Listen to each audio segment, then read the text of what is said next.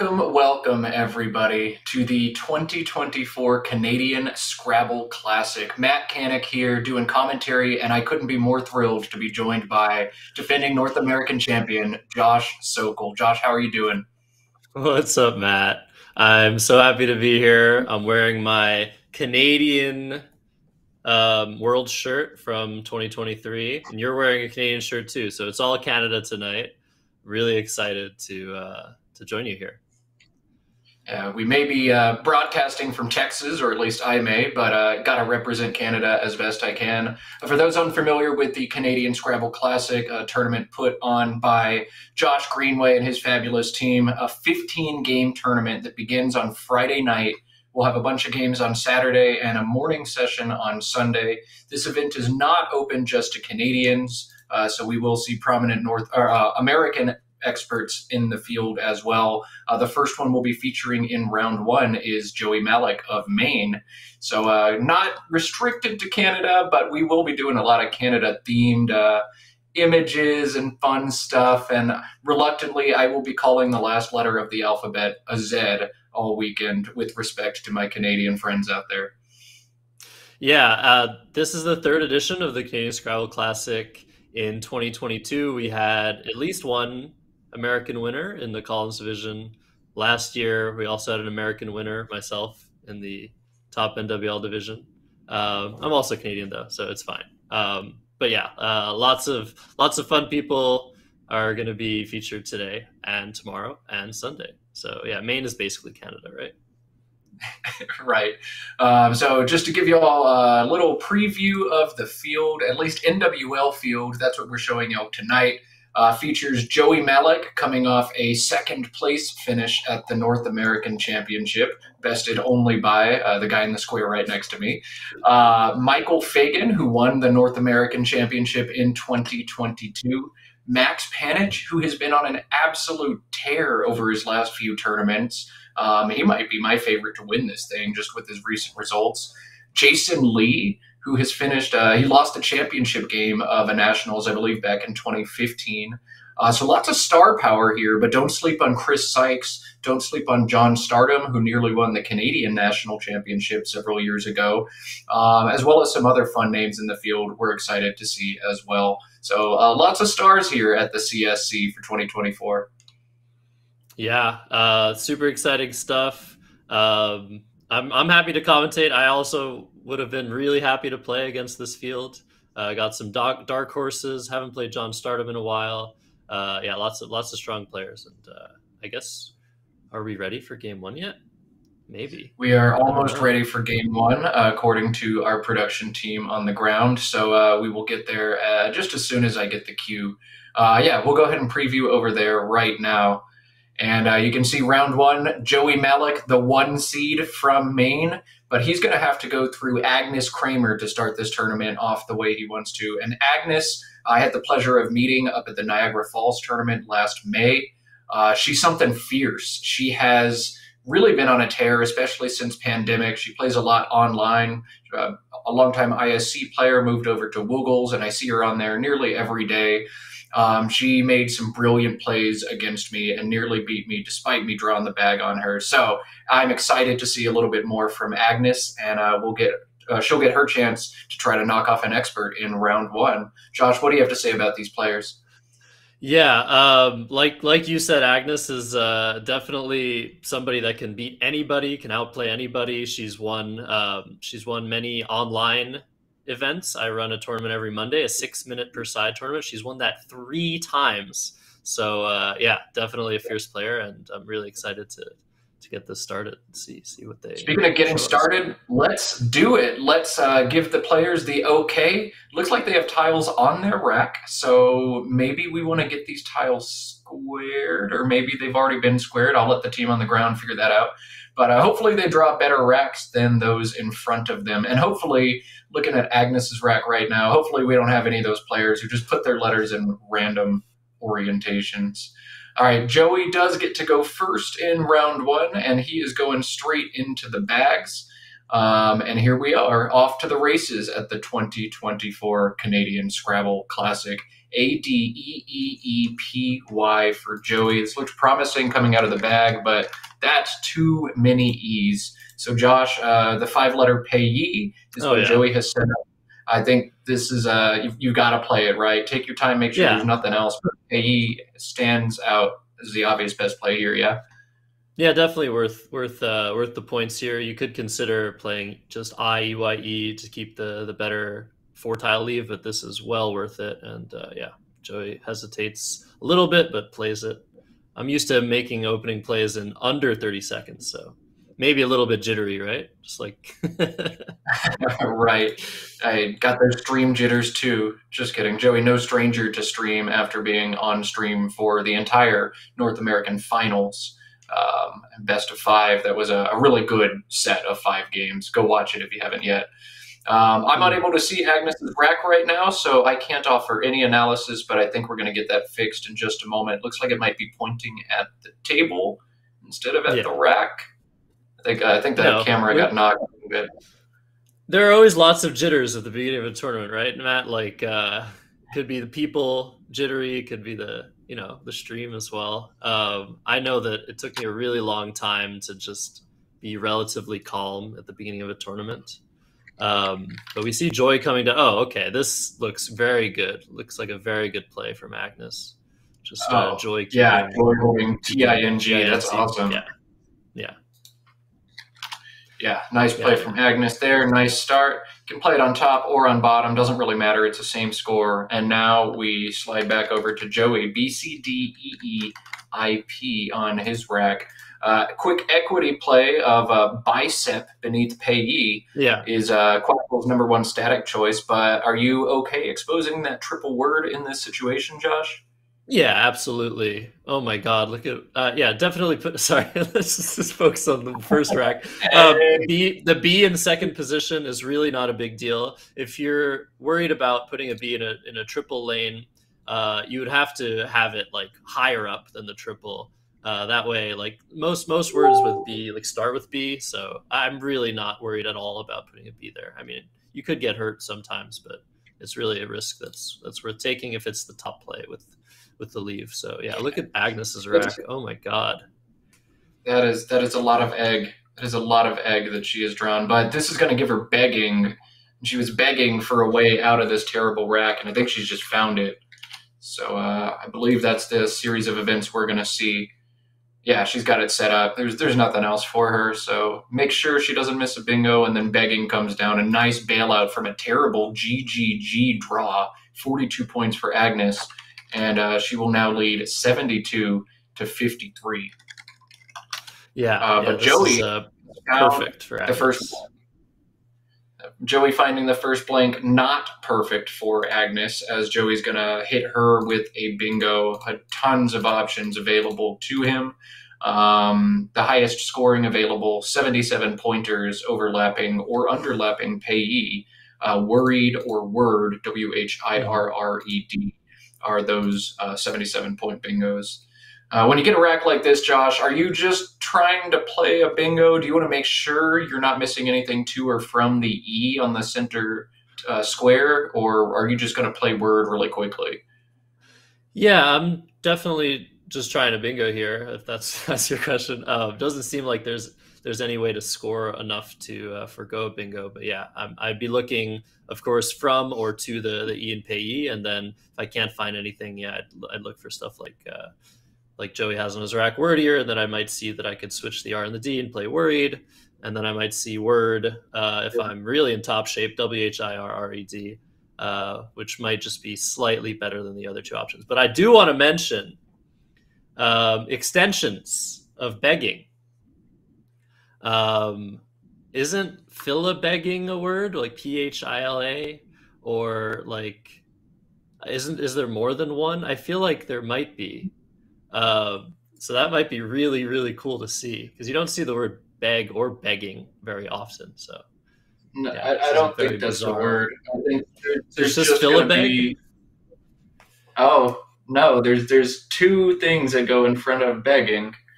One of them is just the uh, OUT out. for out Yeah. begging, but also you can put an A in front of it. Oh, just a begging. So axe right. and a begging is going to be like 80. Oh my goodness. Somebody dropped that. This is going to be a deep word knowledge question. I've never seen that before. I accidentally had my thing set to Collins, and I'm like, oh, that's a neat Collins hook. No, that's a TWL hook. Wow. Yeah, so that's yeah, going to yeah. come a up. Begging. Oh, Whoa. Oh, and Joey draws Whoa. the second blank. So he might already have like keel hail, something like keel hail through the E. Oh my gosh. Uh, but yeah, wow. we see that he played wordier, uh, sacrificing uh, one point. And the reason he did that over playing worried or whirred, probably he saw at least worried, but he didn't want to put the D in that position because there are many more two letter words that start with D than with R. You can only play RE um, underneath the, the R and, and wordier and hit the triple. So that's a defensive choice. And I think it's well worth doing because otherwise, yeah, I mean, that was a- yeah, I think it's a good yeah, choice. very interesting. One point sacrifice, but I think he's going to make up that one point and more in the punishes that he doesn't give up. And uh, this rack, I think, a good example of what could have happened that won't happen. I mean, fast would have played for about 45, and it, instead it doesn't because RA is Mm-hmm. invalid, but DA is. So, uh, you know, great choice by Joey. But shifting over to Agnes, she has two bingos on this rack. Both are tough. Um, both are tough to spot. One of them is the relatively kind of new-ish word tartufos, Yeah. um, which I believe is uh, Italian for truffle. Um, that one I would have a hard time putting the S on because tartufi is also valid in the real Italian plural of that word. The other one is through the E, and it's one I'm certain I've studied, but I forgot. Um, out feast plays through the E as well for 74. So out feast for 74, Tartufos for 62, the two bingos for Agnes. And also notably, she has that OUT combination for out begging, which would be 45 if she doesn't spot the bingos. All three of those are tough plays. Let's see if Agnes is able to find one here. Yeah, this is this is a tough spot, and Agnes is taking a bit longer, uh, which makes perfect sense. But um, yeah, the, the bingos are tough to see. I mean, out feast, you might see that, but not know if it's a word. Tartufos, yeah, maybe you you've studied it, maybe you haven't, maybe you don't know if Tartufo takes an S. So she doesn't seem to be seeing any of the candidate plays here. Um, she looks like she wants to underlap the DIE with oft or aft. Uh, but yeah, out begging as well. Just such a hard play to spot. Sort of like, yeah, you don't see these extensions, 10 letter word extensions very often. So this play, very definitely a valid play. It's uh, it's an underlap, but it, it's defensive as well. So yeah, I'm, I'm a fan of it. But yeah, definitely had a couple better options. It's always tough too to spot those plays. Like you said, rust at the beginning of a tournament's a thing. And I words I'm 98% of anywhere else. When I'm on board one, I become 50% on them. So I feel the struggle of being board one. I've been there too. But crucially, Joey had numerous playable bingos, and Agnes just blocked every single one of them. Uh, Yeah. He had some awesome stuff. Rake Hell played down from the R for a gazillion points. Keel Hail and Hell Kite. All these very low probability bingos that Joey almost certainly knows. He's that good and that deep in the lexicon. Um, and now nothing. He's got nothing at all. So a big swing from Agnes. Well, she missed a bingo. She stopped Joey from getting a bingo this turn. And I think she might even come out ahead on that exchange because of it. Uh, wild. Uh, big swing. I, I just want to point out what could have happened because this is a word that, if you're watching right now, will stick with you forever. Joey's highest scoring bingo would have been Rake Hell, R A K E H E L L, down from the R in wordier. Doesn't that take, does That- that take a, a Y or something? That takes a Y. So Rake Hell and Rake Helly. That would have been just the sickest, like, word knowledge flex if that series of events had happened in a different universe. But alas, no Rake Hell, no Rake Helly. But if you're watching the stream, R A K E H E L L and a back Y, you're going to win a challenge on that someday if you play for the next 50 years. Keep it going. Jeez, All yeah, right. that's that's incredible. So okay, we see Cleek come down, keeping HL, uh, keeping HS blank. Was it no HL blank? Right for Joey. That's a very strong play. Um, and yeah, this game has been very interesting so far because we have this a begging hook that I don't know if either player has spotted. I'm pretty sure Agnes hasn't because I think she would have played at already with with a begging, and Joey hasn't drawn an A yet. And there's the out begging extension. It's pretty crazy. Uh, very, I don't know. I, I haven't seen a game like this in a while. I feel like it's just kind of weird. And with those all those bingos that were just blocked, yeah, I don't know. I don't know. If I were Agnes, I would probably play TAU here next to the E and the K and Cleek. But uh, yeah, TAU yeah, next to the E and Cleek, making ET and KA really strong play. She sets up both the back S and the back T that she's holding on to, keeping great bingo prone letters. You score 16 this turn, and uh, you're planning to thwack a 60 or an 80 or 90 point bingo in that triple line next turn if it stays available. Oh, but instead oh, she's going to take the style point. Okay. Oftis scores 29 as opposed to just 16 for TAU. So that's what she opts for here. Uh, but that AATU leave, uh, perhaps holding on to a begging, or more likely, I think she's just trying to score a lot of points right here. And that's what she's able to do. Uh, it's going to put Agnes at 119 to Joey's 151, and Joey's found all consonants into that blank. So he's going to have a tough turn for himself here. I think wow, he's just very I don't know, quickly playing Gled. AH and a begging using the blank was 53. but if you're Joey, I leave that spot alone until I get a real A. There are so many more I can draw. If I know the word and I don't think my opponent does, I'm just waiting. And there's the A. So we'll get to see next turn um, if Joey knows this word. But um, even if he does, look what he's drawn into thrashed. Wow. Like, like wow. this is crazy. so the play of Gled already mm-hmm. seems kind of weird to me. I would have played just EDH from one of the E's and Cleek to score a little bit more, keep a very good leave. But Joey's kept the H, which is a good tile, and he's drawn a second one, and yet he can still play a bingo. And I don't see Agnes blocking this. This is going to be, I think, game if he gets this down very close to it. I mean, if you're Agnes, when you play a player as good as Joey and he draws both blanks in the first, you know, three turns, and you're not able to bounce to a bingo lead, it's it's it's hard to win those games. You know, certain things have to happen for you to beat a player as good as Joey Mallick, and uh, this is this is not that series. So uh, yeah, it could be game over. Thrashed is going to be just a killer score, and there's no reasonable play from Agnes that blocks it. Although I don't know there's a lot of players out here who see double U's and they just play two two for four. Yeah, that, that could be. Yeah, we might see two two. I mean, that's the only play I, that I think is reasonable that blocks thrashed. I mean, obviously, we're sitting here. We know Joe, Joey has, so we kind of are like rooting for two two because yeah, if Joey gets thrashed down, the rest of the game might not be that interesting. um, but if that's blocked, the question is, will Joey see the A hook on begging? I, I man, this is one of the games where like I wish I was in my opponent's head, just to like, because it could be that Joey has seen a begging and isn't sure if it's a word. Same with Agnes. Like I really want to know, rack their brains to see like if they're aware, and I, I don't know. It might stay there the whole game. Yeah, I mean the way Agnes has played, she's had both out begging and a begging. I think maybe she hasn't spotted them, or I mean, I wouldn't know the word a begging. Um, it's got three G's. I'm gonna study that last if I ever get that deep in the dictionary. She's picking up TAU, which is what we thought she was gonna play maybe last turn.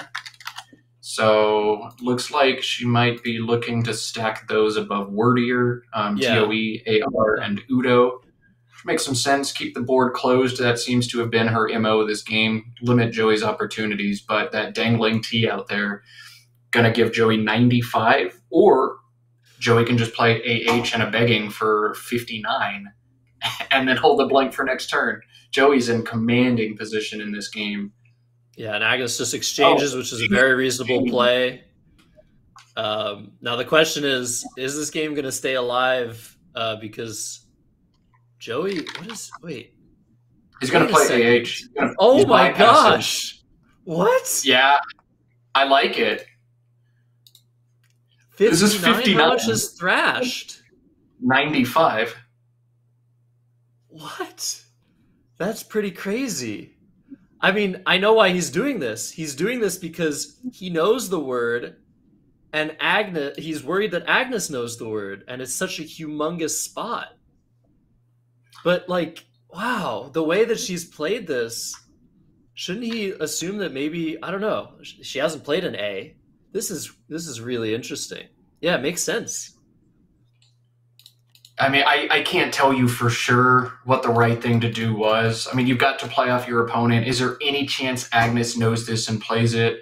Um, you, have got to figure that spot's going to stay there all game. I think if you're Joey, she's already well. Actually, she hasn't shown you an A. She's been holding right. one to two per turn, but all right, she is going to challenge. I would do the same thing. What on earth? There's no Abeg as a four. Yeah, this is just a really strange front hook and Joey Mallick flexing exactly why he just finished second at the North American Championship. Because who knows stuff like that except people who have devoted this much time to the game? This is impressive from Joey. And it comes up green. Oh, man, that's going to be tough for Agnes. Joey almost definitely going to draw bingo on his next draw. Never well, mind. He drew MM. So he's going to play HM, I think, underneath the ET and the RE on the right side of the board. Oh, yeah. And yeah, he's going to need a vowel or something to, to bingo the turn after. But yeah, I totally understand this challenge uh, for the exact reasons you said. I'm just like myself, like I know the word. I wouldn't be sure if it was valid, but like I didn't see it. Like you don't, this just doesn't come up. It's one thing to know the word, it's another to see it. So you might have studied the word of begging, just it never comes up. So yeah, that's that's amazing from Joey. He plays HM very quickly yeah, HM definitely the move to make here. Man, what what an impressive game from Joey so far. I mean, he's got the goods, but he is wielding them as dangerously as possible and just racking up a ton of points here. Let me get that score bug updated for y'all. Uh, Joey now oh ahead gosh. to 119. But he hasn't drawn a foul. Wow. Wow. Well, at least this Ooh, means okay. that they're mixing the bag properly because we we know that Agnes on the last turn exchanged a bunch of vowels, so we know that they're drawing somewhat random tiles, which is uh, which is a good thing. But uh, yeah, I have no idea. I have no idea what I would do in Agnes's shoes, and I, I don't know. Depending on what Agnes does, I probably would have no idea what to do in Joey's shoes either. Um, yeah, wow. I, Agnes has to try to get this board open. There aren't awesome ways to do that. Uh, Arb plays above Wordier ARB, holding LNOT, which is kind of meh, but it scores 28, opens up that DADO front hook. Um, there's also some cool longer plays using some of the different threes on the board. Bethorn plays through ETH, Tremblor plays through REM and Boltrope plays down to OPE. Oh my god! what is going on this game? Yeah, the degree of difficulty you don't see. Yeah, just the degree of difficulty on any of those words is like a 10 out of 10. Any of those plays, that's really tough to spot.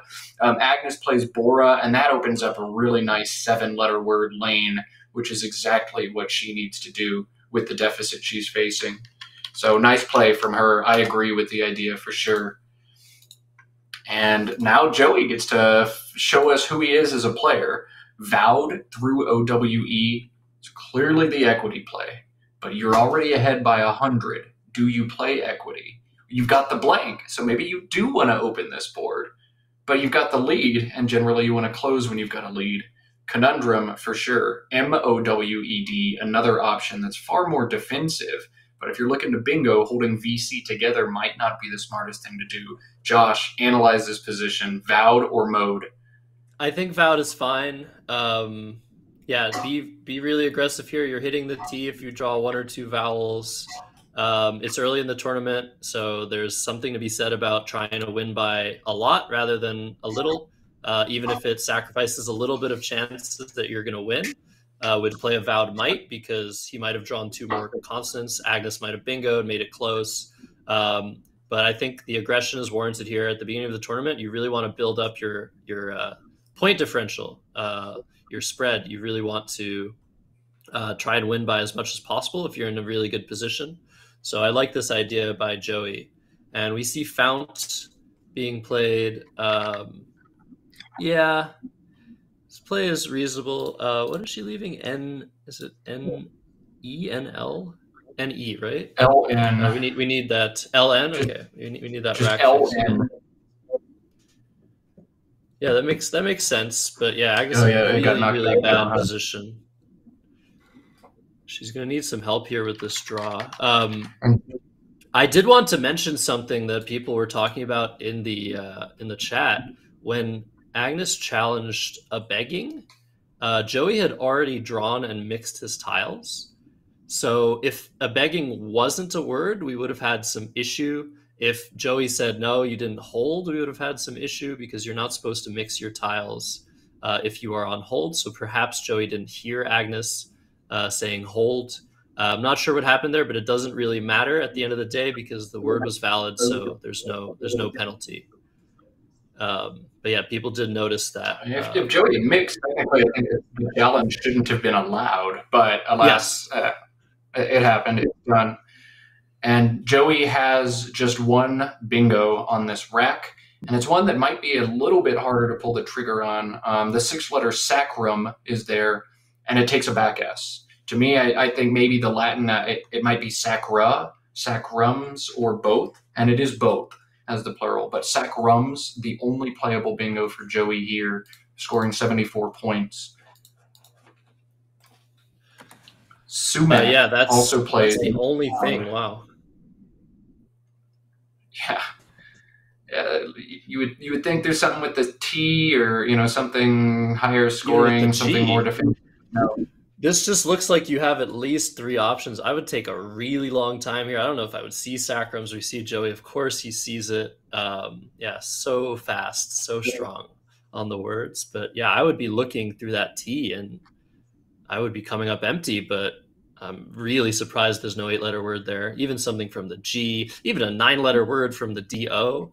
Um, because yeah, the placement of Sacrums, although it does um, score pretty well, it does open the board a little bit. You see, there's a lot of space open on the bottom right, uh, but it's not very accessible right now. So positionally, uh, Joey would much rather not do that. Um, and it's possible you want to play Sumac and Avowed here, uh, just to leave everything as is on this board. But I think, I think, yeah, probably the optimal decision would be to play the only bingo of Sacrums. Yeah, crazy stuff. Yeah. At, at this point, Joey can do nearly anything. He's got the final blank. He's got a hundred point lead, and he's going to score either thirty-seven or seventy-four this turn. Like this one's done, more or less. Thanks for showing up, Agnes. Like this, and Joey's going to get both blanks early. Uh, this is what happens. He's too good. Two opportunities. But Agnes does have a bingo here. Uh, oh no, she has two N's, not two L's. I thought she had Linteld through the T. Um, she does not. I think I've phonied with uh, limited before, actually. L I N N E T E D. So uh, hopefully Agnes doesn't fall for the same for the same hopefulness. Uh, but yeah, that one made me throw up in my mouth a little bit. Limited. Ooh. Okay. It looks looks horrible, right? But who knows? And yeah, I, I probably play it. Oh wow. Uh, Okay, that was looking really good for Joey, but he, he's uh, he's drawn two vowels as his uh, final two letters. Um, doesn't look like he's going to be able to play like deionize or anything, unless oh, unless Agnes plays dime. Oh no! What if Agnes plays dime through the Oh. M? yeah, I, I think don't know. delime also makes some sense, but dime is a pretty easy play to pull the trigger on. L I M N also plays um, through the M, though that's tough to spot. I don't know if I'm if I'm Agnes in this situation. It's round one. I probably decide forget it. I'm playing for spread. But if I were later in a tournament, I really needed a win. I've got to do some kind of play down to the N in Fount and create another big spot. You know, like I might even play L I N E N to the N for 12 just to give myself any way back in. But this stage in the tournament, you probably just kind of concede that you're going to lose this one and make a more equity play like Dime or Delime, right, Josh? Yeah, um, I'm a little bit worried though because she has DEI lined up, and a very common four-letter word uh, phony is DEMI, uh, like Demi Lovato, Demi Moore. Demi also means half in French, so the Canadian side of things uh, might be might be leading Agnes astray here. But it looks like she's going to play dime, I think. So uh, what would have been really interesting is if she plays if she plays if she played Demi, would Joey accept because it gives him a bingo? Um, but yeah, this is this is really bad regardless, and uh, Joey's gonna have over. Yeah, Joey's gonna do this points. in four seconds. Four seconds. As soon as he gets his paperwork done, he's gonna grab the E. Here it comes. Waste no time. Wow, what a miracle! Is it Christmas in Canada right now? Is that what Joey's feeling? Because uh, that's one way he gets bailed out of this wreck. And of course, when it rains, it pours on Agnes. Man, look at that draw too. Oh, I feel for her. I feel for her. Yeah, this is this is horrendous. Um, just like so brutal that all of these crazy, difficult words came up. Um, where yeah, it really like this this sort of game, the positions we got into very early definitely favors heavily the well the more well studied and uh, and experienced players uh, on the circuit. So yeah, very unfortunate stuff for Agnes, uh, who can, like I said, take anyone down uh, on a good on a good day with with regular positions, not positions where you have to play begging and then a begging comes up. Like that's that's crazy. Yeah, I mean, degree of difficulty on this game, a 10 out of 10 for Agnes. Some Scrabble games are easy. You know, I have games at club I play in four minutes. I'm like, I didn't have to think about any of these plays. They were all just obvious equity. One one option stands out, and then there are games like this for Agnes where it's like, what on earth even happened? These are the humbling games, and uh, geez, Agnes has uh, been humbled a little bit by the great Joey Mallick. Speaking of. Uh, the great Joey Mallick and the other great players in this field. For those of you watching us on Facebook or on Twitch right now, uh, the remainder of the nightcap for day one is going to be streamed exclusively on the Let's Play Scrabble YouTube channel. So if you're watching us elsewhere, uh, get ready to jump on over to YouTube to watch games two and three. We're already live on YouTube now. You could jump over right now. And uh, I got to give the plug as well. If you uh, like, this video, then it bumps Scrabble up the algorithm and brings a couple more folks to the stream. So Josh, the person who, who runs Let's Play Scrabble, always appreciates that. Anybody who likes to see Scrabble grow appreciates that. And if you haven't subscribed to the channel yet, well, go ahead and do that because we're going to have not just this tournament, but many, many more. The biggest one in two months, uh, the Montreal Scrabble tournament. That's going to be a great one. So um, if you're watching us on Facebook or on Twitch, jump on over to YouTube now or make a plan to jump over after this game. If you're already watching us on YouTube, say hey in the chat. We got plenty more of this, and uh, maybe give us some love, give us a like. Yeah, that's uh, that's man. I'm so excited for the Montreal tournament. It's it's uh, it's coming up in May. We're gonna plug it a ton, but right now, yeah, um, Agnes is gonna have to figure out what to do with this horrendous rack. She should not feel bad about this game. Um, if I were at the the tournament, I would definitely, I would definitely let her know that the, that what happened this game was absurd and ridiculous. Sometimes um, it's dumb. sometimes really difficult. Hey, Josh, Josh. Yeah. What about ERN from the E and D ionized for three? Yeah, there are no E's left. Look at the pool. No, no it's the last. No E's, no S's. Let's go. Yeah. Yeah. I'm a fan uh, of that. Uh, yeah, it's ERN for three, uh, and then draw that Q and play QATS for ninety. I actually think this is like one good thing. I think this is a great play. Maybe Lorn through the O instead to keep uh, to not keep duplicate R's. Uh, same score, but uh, you're hitting you're hitting that T a lot. So basically, you're you're telling Joey like, do you want to block this T? Are you worried about me bingoing to this T? And he might sacrifice a lot of points to do that. But knowing Joey, I think he's okay leaving it open uh, unless he has a very clear play that blocks it, uh, especially with the avowed hook still still in play. So he plays Tav. Yeah, makes a lot of sense. Uh, I mean, his rack wasn't good either, so Uh, but yeah, now we see the cue being drawn from uh, from Agnes, and that is, uh, yeah, that is insult to injury. What can I say? Yeah, uh, in insult way you can put it. This game, and I mean, looking at the pool from Agnes's perspective, nothing else bad can possibly happen. Look how horrific that is, and yet, like the way this game is going, gone, like there's going to be something absolutely stupid that Joey ends up drawing, right? Is there even a possible bingo down to the I mean, the unseen tiles are so so bad, but yeah, I wouldn't be surprised. Um, but I mean, it's enough. It's enough. This is this is enough. Joey's ahead two hundred points. Um, there might be some cool way to like set up the Z here. I might just play out. Huh. I might just play out ON and UT, even though that sets up an A hook.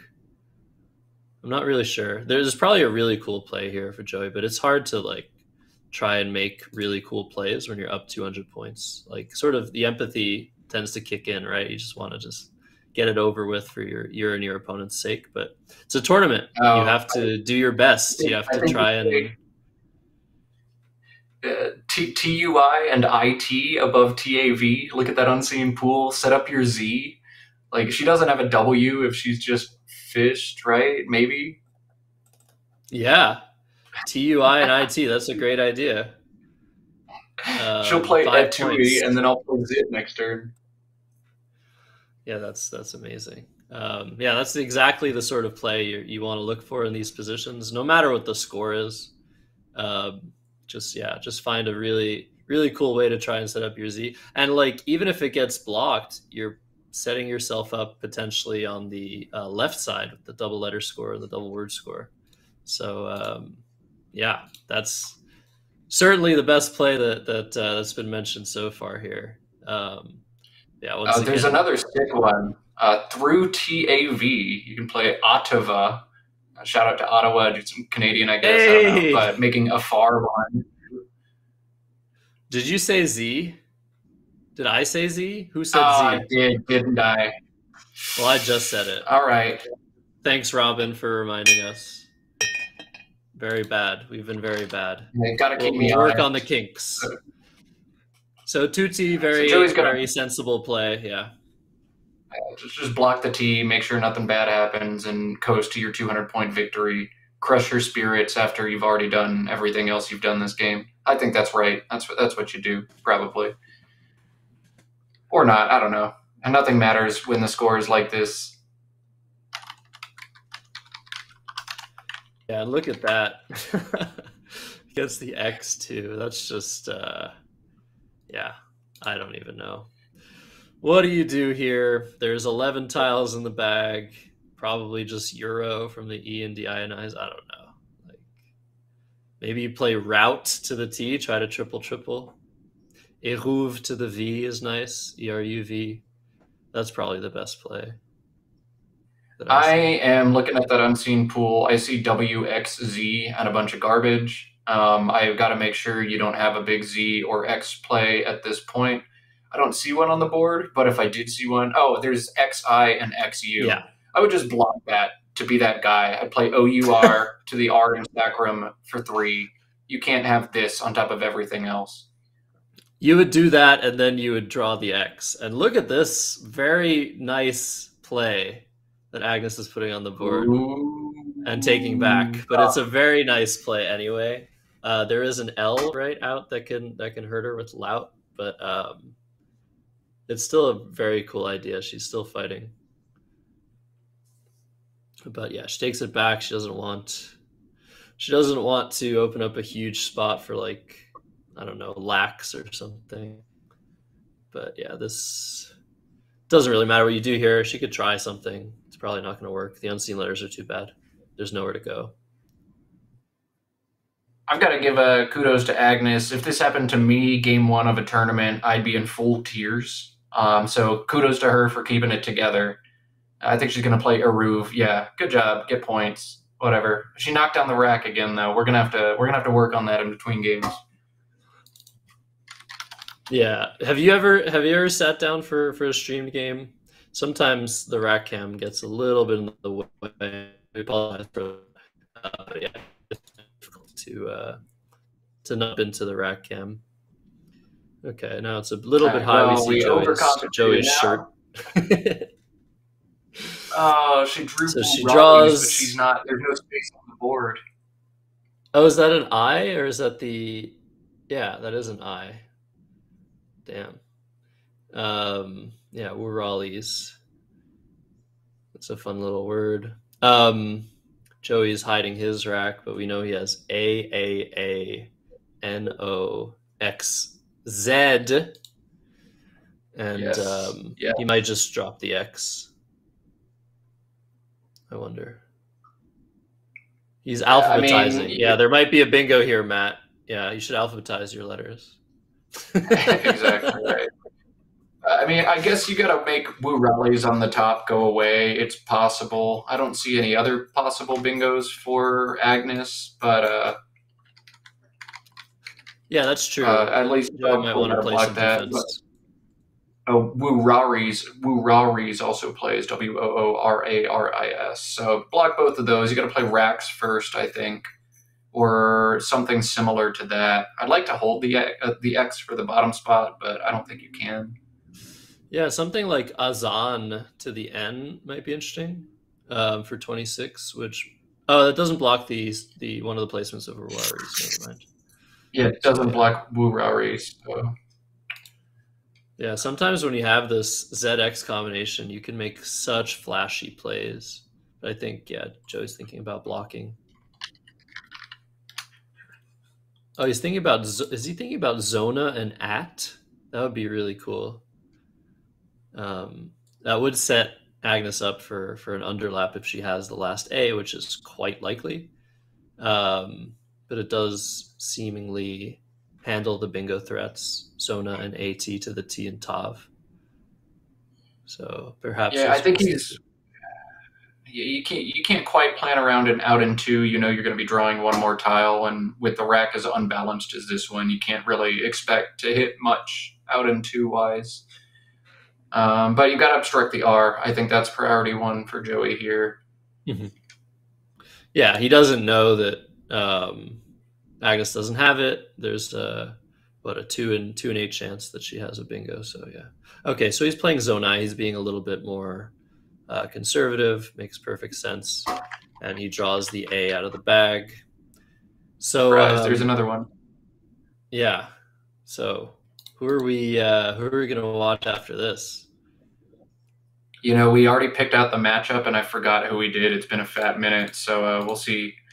We'll see who uh, who we picked in just a minute. Josh is going to help us out. Oh, next is going to be Max Panitch versus up and comer Hank Hees, who has gained rating at every tournament he's played.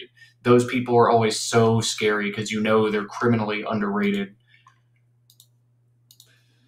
Yeah, yeah, Hank Keys, um, definitely, definitely an interesting, um, an interesting. He's the bottom seed, but I think he's probably going to play way above his rating. Um, so we'll see, we'll see, we'll we'll uh, see when that happens. There's also something else that uh, we should mention to you guys. Uh, Matt, do you do you want to talk about that? There's something something cool happening in Belleville. Neither of us are there, but. Um, yeah, there's a documentary crew. Yeah, so uh, there's a documentary crew covering this tournament in addition to the stream that y'all are watching. And uh, who knows where that's going to go, but that is going to be cool. Players being interviewed between rounds. Um, stay tuned for some Scrabble content out there. Um, it is very exciting, and hopefully, we can have a player maybe come on and chat about it in between during the intermission.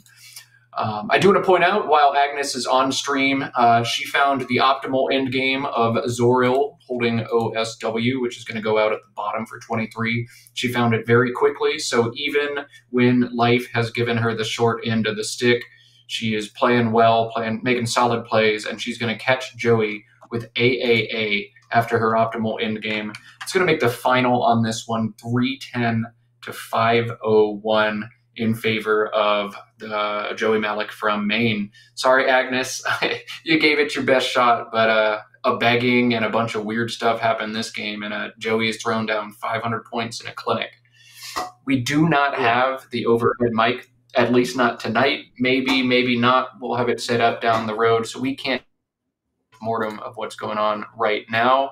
But uh, as I mentioned earlier, for those just joining us, while we are streaming round one on Facebook, YouTube, and Twitch, we are streaming rounds two and three tonight exclusively on YouTube on the Let's Play Scrabble channel. So if you are watching Scrabble right now on YouTube or on Twitch, jump on over, or uh, I'm sorry, on Facebook or on Twitch, jump on over to YouTube. Let's Play Scrabble on YouTube, streaming live from there.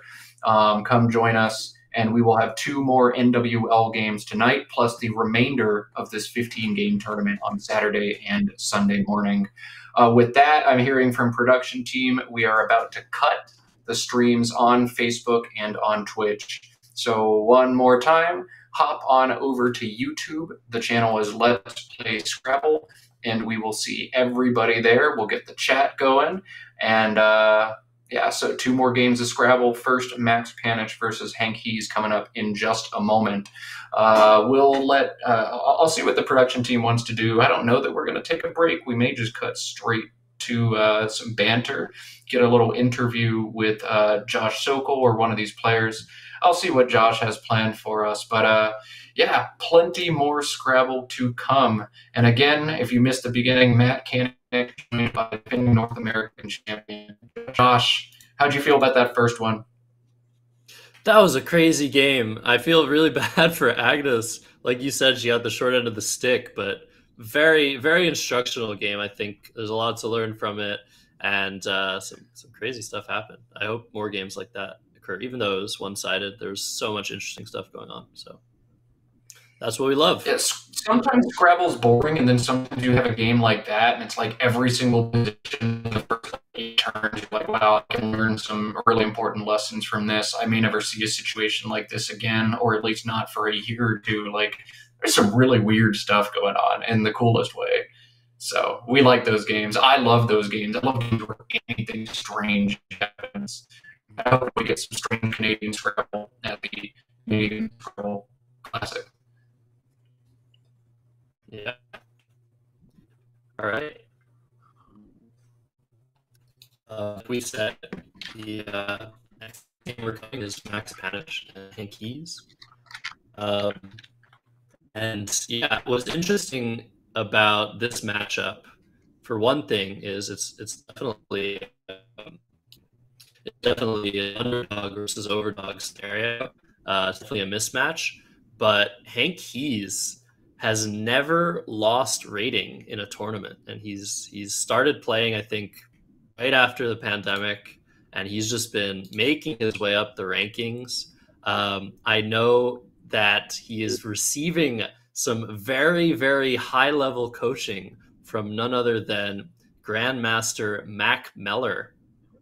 Um, so that's probably explaining he's been being coached for I don't know some some time now. That probably explains uh, his rise. Um, this is his first Division One event, and yeah, but he's playing none other than Max Panitch, who to me is just such a scary player. He's so soft spoken and and kind, but he has this like soft spoken intimidation to him where he just very unpredictable, very very strong. Um, yeah, I have a hard time beating Max, so we'll see. We'll see how Hank approaches the game. Uh, but yeah, very a very interesting mashup uh, for round two. And yeah, I hope you guys have all clicked the link and joined the uh, one and only Let's Play Scrabble.com YouTube live chat. I see a lot of you in here. I see a couple people that I might normally see on my live streams. So it's great to have all of you here. It's great to be here with Matt. Um, and yeah, I can't wait. I can't wait for the start of this uh, this game too. Yeah, if you haven't heard of Hank Hees yet, just look at his cross tables page, and I think it tells you everything you need to know about him. Only 14 tournaments played, but his most recent tournament was the national championship, where he finished second in Division Three and gained nearly 200 rating points. I see he's had scores starting with five, like seven different times almost always had a score starting with a four. That's a sign that someone doesn't belong in that division anymore. Um, so welcome to the big leagues. This will be Hank's big Division One tournament and uh, first time on stream almost certainly. This will be exciting. Uh, definitely some jitters for him, but hey, trial by fire, right? That's how you learn in Scrabble. Everybody's been there. Yeah, you remember those days, Matt, where where we were we were criminally underrated in, in the lower divisions, and everyone was just so upset that we were still still playing in those in those bottom divisions. Like, where you don't belong here. It's like, well, you gotta wait, you gotta wait. I need to I need to get my rating up. That's like the biggest flex I'll make all weekend, hopefully. Uh, but yeah, definitely, I've definitely been where Hank is, um, and I'm really excited to see his rise as a player. Uh, but yeah, he's to have to get through some toughies, toughies, toughies, toughies, and starting with Max Panitch, who what um, somebody said that he's running, he's helping run a school Scrabble tournament in Toronto. Um, I think I saw in the chat, which is really awesome. Um, so there's a school Scrabble tournament on Tuesday in Toronto. So Max is going to not no no rest for the wicked. He's he's going back to Toronto after this tournament and uh, running a tournament, running a school tournament. That's really awesome. Yeah. Yeah, you got to give a shout out to anybody who contributes back to Scrabble, whether that's organizing tournaments for adults or for kids, organizing a club for adults or for kids. Um, it takes a whole village to put Scrabble together. And uh, I mean, as a school Scrabble kid myself from 20 years ago now, um, thanks to Max, thanks to anybody who uh, gets young folks interested in this game, because that's where a lot of the talent and a lot of the enthusiasm has come from. So, way to go, Max. That's awesome. Keep doing cool stuff for Scrabble that do these things and don't even talk about it like those are the unsung heroes of the game people put in so so many volunteer hours to do things for scrabble just for the love of the game and yeah it's people like max that keep the ships afloat or the one ship i guess there's only one ship uh, the scrabble ship and uh, yeah can't thank people can't thank people like max enough honestly um, i think school scrabble is by far the most successful thing that we've done in the community to get uh, to get new people into the game uh, since since we had uh, Word Freak, uh, the book uh, Stefan Fatsis' book in, in, the early 2000s come out. But since then, I think School Scrabble has just been uh, fantastic. You, you catch the kids early, you trap them, and yeah, they uh, they start playing Scrabble, you know, on of their own volition. Scrabble is one of those games, and everybody watching this stream probably knows it. And if you don't know it, you will learn it quickly. It's a game that takes years upon years upon years to master. Nobody just appears and is like immediately an expert. I think Annette is probably the closest thing we've had to that in the last few years, where she, within two years, is nearly winning Division One majors. Um, but it, you know, you'll see most of these players have been playing tournaments for 10, 15, 20 years and hey, if you can start when you're 12 or 13, that's going to help. That's going to help build up that wealth of experience you need to be a Division One player. So, you know, we've got so many school Scrabble kids or other people who started young at the same time. There's a lot of folks out there who start a lot older who routinely kick my butt over the board. So um, it just takes a lot of passion, a lot of time. And kids and teenagers tend to have a lot more of that than adults. Although sometimes people retire or something and then just tear it up or have a little baby at home and when they're at home taking care of the baby they've just also got a card box going and all of a sudden you've got you know 200 rating points. Um, you know there's a it takes a lot of passion. People find it at different points but getting to start young is always going to be a leg up i think. Wait a second. I just got word from our producer that this is a repeat matchup. For those that are unaware um, there was an early bird tournament earlier today. So I think it was five games um, that the players played before the main event. And Hank and Max had already played. And Hank won the game 542 to 361. Are you kidding me? This guy is Bro. 500 points lower rated. Not for long. That's all I can say about that. Goodness, that's incredible, Hank. Wow. So had no idea. That's amazing. wow who is this guy? Like, I want to meet him and shake his hand. This is the greenest cross tables page I've seen in a while. and it sounds like that early bird, if you beat the expert, then your rating's going to go up one more time. Hasn't updated on cross tables yet, but make that 15 straight tournaments probably of green. Yeah. And bottom seed in Division One. You're going to have to have a terrible performance to not make that 16 year. Wow. Hank Hees, everyone. We'll get to meet him in just yeah. a minute. That's awesome. Yeah, uh, I know. I've seen Hank. He's he's a tall, tall gentleman. Um, we love we love our tall players, right, Matt? Um, and uh, yeah, apparently he's apparently he's uh, he's retired as well. So, like you said, he has he has some time to devote to the game. Um, there's yeah, uh, I don't know what to say. That's that's amazing. Um, All right, that's enough buildup. Let's cut over to the board. The players are situated and ready. The man, the myth, the legend, Hank Hees. Looks like round one did not go well for him, but hey, if he can just do to Max what he did a few hours ago, he'll be back in the green on his spread. Yeah. That's amazing. And Max, yeah, he won his game by by 43 points. Okay, so there was a close one. Uh, but yeah, I don't know the psychological aspect of having already lost to someone earlier in the day. I wonder if that's going to affect Max, who's going first. Um, so yeah, stay tuned. Let's see. I think the players are ready. They're going to shake hands or not. Uh, it's not compulsory in Scrabble. I don't know. There's a debate about whether it should be. Um, or is there? What do you oh, let's get into some great Scrabble debates on the stream. That's the energy we need right now. Yeah. Did you shake hand? Okay, no, we're not going there. Chat's gonna have a blast with this one. We're off to the races. Uh, Max A C G L R S U. That's C U G combination. Yeah, God, please add guac to the lexicon in the next. They did. My they did. Did they? Didn't they?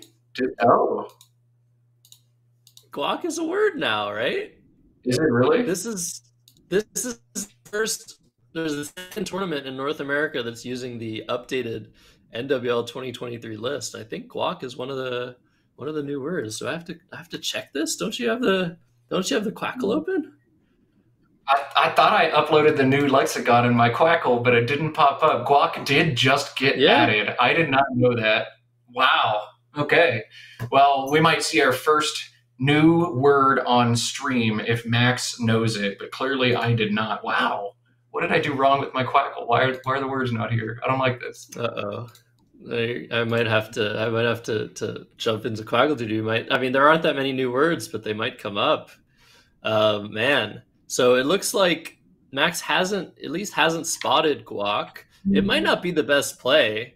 Um, but okay, he's playing curl. So I actually prefer guac to curl, but Gular he had lined up looked pretty good as well.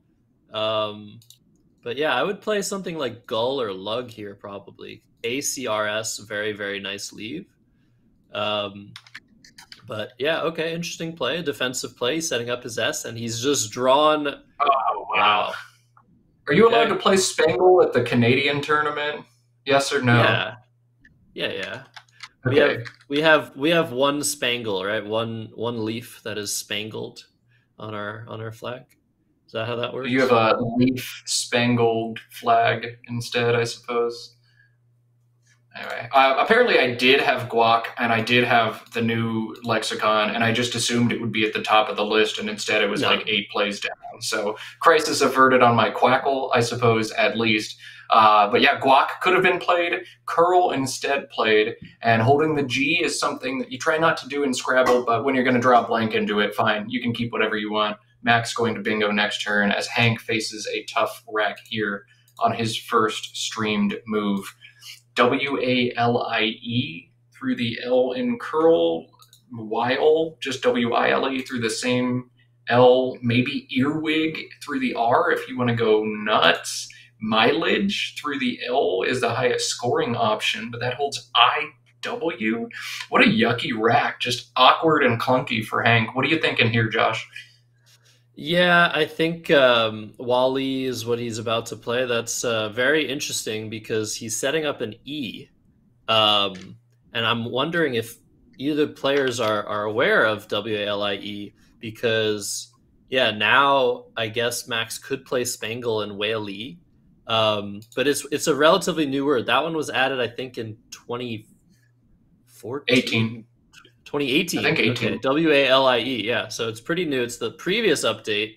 Um, and yeah, sometimes I don't know. Sometimes those those words don't stick. So um, and yet he doesn't need it. He's got 80 oh, points. This is. Man, Max, this is awesome. Scrabble. Waste no time. Upalongs. Blank is an O. 80 Okay. points. He doesn't need that back hook on Walie. He's going to score 80 here. Awesome. Awesome stuff for Max. Yeah, I certainly didn't see that. Okay, that's yeah, that's an amazing find, amazing recognition. Like just the word, the the formulation of that word is so bizarre. I mean, you have the NGS, but man, that is a extremely high level find by Max, and he found it so quickly. Nice job. And uh, that N is going to give Hank an option that will bail him out of this rack. He's found it almost instantly, imaging the play here, and uh, it, it, you've got to do it. He started to play it, picked it up. Maybe he's looking, just doing his diligence. I'm not missing a double double through the L, right? There's no stupid bingo in this rack, but no, imaging is the best he can do here. Does give up some potential huge counters on top, but out of a terrible rack like this, you got to do it unfortunately, I think he's about to get jibed in return. Yeah, yeah, yeah. Jibe, jibe, uh, B I N E M. That's uh, that's going to be huge for Max. Uh, hopefully, Or yeah, hopefully we see a nice uh, a nice draw for Hank here, uh, so he can stay in the game after that.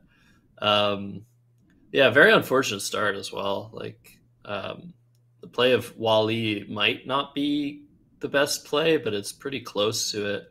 Um, so yeah, the fact that uh, Hank's going to be down 100 points after this play. Oh, but look what he draws. He draws the QU. That's uh, that's Oh. pretty good. But the question is, if Jibe comes down, what is Hank gonna do? I don't think you can play Jehu and get rid of your U. Um, no, I, I think you play so check weird. and W. check and WE, No right? matter- Yeah. That's going to be crazy. Just open this board, get things as dynamic as you want. You're going to create big overlaps next to the Q. If you play check and WE, you're going to open the triple triple. The J is going to stay exposed. There's going to be a lot of points scored if jibe to check is the next two turns. And I don't really see why it'd be anything else. Max flexing his word knowledge, the really cool six letter J O B B I E. I think he set that up on his rack earlier. Uh, it's fun to play those big words, but unfortunately, Scrabble's not about who makes the biggest words. It's about who scores the most points. And you've got to forego playing the cool word, even though you'll probably never draw Jobbie again in the next five years. You got to play Jibe here. You know it's you know what uh, Hank is super close to here? Curlicues. You know that word from curl? No, Uh, it's a verb actually. Curlicues, curly cued. C U R L I C U E. Um, I don't think we're gonna see that though, since he's gonna play the second C most likely. Um, but man, that would be pretty cool. He might actually play Qua to the A and upalongs because yeah, Hank was looking at playing QUA already, uh, which Jive blocked. He was going to play it with QI, UM, and AA atop of imaging, and now Mm. he might still have that play in his head, and you might see the CH combination and think it's pretty strong. That's a very reasonable option as well. Qua for 32 uh, to the A and upalongs. And we might see oh, Qua, we might see Quag uh, down to the G in imaging, kind of a similar idea. Um, both of those are going to hold the powerful CH combination, but I think check, just what it does to the board, is exactly what Hank needs in this situation. Uh, after Max has just netted those 54 points for Jibe, 146 for Max Panitch, 43 for Hank. And uh, it looks like Quag is going to come down. He wants to keep the CH together, which is reasonable. He could hit a massive bingo to or from that S on the bottom of this board, assuming the J doesn't get blocked. But I think the J gets blocked a lot of the time here, or the J gets played from, Yeah. I should say. Exactly. Yeah. I mean, it doesn't look like Max has a great play using the J. He has join. Um, yeah, so we might actually see. I think he's probably going to play join if he sees it. Um, it's not doesn't keep the best tiles, but BM BM together are pretty good. Um, and I don't really see any alternatives here that are great. But I would definitely spend a little bit of time looking for like some high scoring long word, maybe from the G. He almost has like Gumboon or something, uh, some, something like that. But I think yeah, join looks pretty good. Uh, the coolest play here, and also the best equity play, is awesome.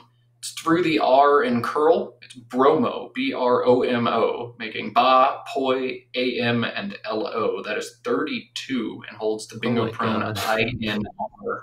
But I think if I max, I love holding stuff like B M O R when I'm ahead by 100 because, yeah, maybe you'll bingo but I'm going to score 30 or 40. And if I can just score 30 or 40 every turn for the rest of this game, I'm, I'm probably still going to win. So join to me makes a good amount of sense as a play. And I want to do what I can to muck up that S on the bottom. I don't know that one wants to go so far as to play like booms to the S in upalongs. That seems kind of paranoid, but try to obstruct it a little bit. What's he got here? Oh, oh he's playing Broom. He's thinking. So you know what's crazy? And someone mentioned this in the chat. If Quag hadn't been played, Max had brooming to the G, underlapping oh! all the way, and I think he spotted that. Uh, that Quag blocked that somehow, and maybe, like I said, like he just has it in his mind. he wants to play brute, which is a very good play, by the way. Um, it does the same thing that Join does pretty much. It blocks the oh S very well and scores goodness. well. But that's crazy. You guys see the IN could just go under GI and IN. That is so. Can that is so insane. Check, check to brooming to like a Hank triple triple would have been like peak Scrabble content. We're done. Like nothing cooler, nothing cooler is happening this weekend. Oh man, yeah. what could have been? Like, Max must have seen it too. He's got to be a little upset right now. But man, he's so stoic as a player. Yeah, definitely. I've rarely seen him show like show huge emotion. Um, yeah, yeah, he's he's got he's got the uh, he's got the demeanor for the game for sure. So someone mentioned Chevet making W E and A T on the vertically on the top right. That, that looks like a decent play to me for Hank. Um, but yeah, what's interesting about the play of Broom, Matt, is that now like Jube and and Juba and Jibe, they still fit through the J and the B. So someone's just going to get an easy bailout, and it might just be Max next turn. I mean, again, when you've got the lead, all you want to do is score 35 a turn. And so if you can create an opportunity to just play jibe when you do draw into those valley racks, like that seems like the thing you want to do. And any turn Hank is not opening the board is another turn I can continue closing the board. So if he goes and plays over there, I don't really care because I just uh, I just muck up the rest of the board. So Chevet, kind of a word knowledge check, and it looks like Hank maybe hasn't seen that one yet or hasn't spotted it. Instead, ECHE going to be the play that comes down here. Holding onto that V is not ideal, but it's 23 points, and you've got to continue scoring and trying to get a bingo and trying to open the board. And where that C is slotted, this is a nice little board forking play. Now you can make plays back hooking WE, front hooking, or playing through ECHE and they can't be overlapped. Uh, you can't block both at the same time if you're max. So cool idea from Hank. If you're going to open the board, though, you need to draw better than he just did, unfortunately. Yeah, despite the miss of Chevet, that play of Etch is a very, very strong strategic acumen from Hank. Uh, like you said, forking the board, the C makes it impossible to deal with uh, both on top of the E or through the E and uh, going down next to the WE. So that's a very nice play. And the VET combo isn't so bad here. Uh, Hank could have drawn into something like outlove or outlive through the U and the L. Um, Quag and Upalongs makes that double double lane. Uh, so very good board uh, play for the board. Definitely, we would have liked to see a higher score with Chevet, but uh, we, we get we get to see that Hank knows what he's doing.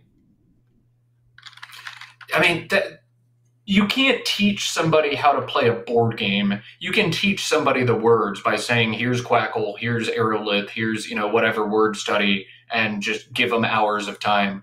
I think any any fool can sit down and spend enough time learning a lot of the words. Not any fool; they're hard, but learning game strategy is just something you kind of have or you don't. We see so many players come over from poker or chess because they just know how to play games. And Hank already showing us he knows how to do that.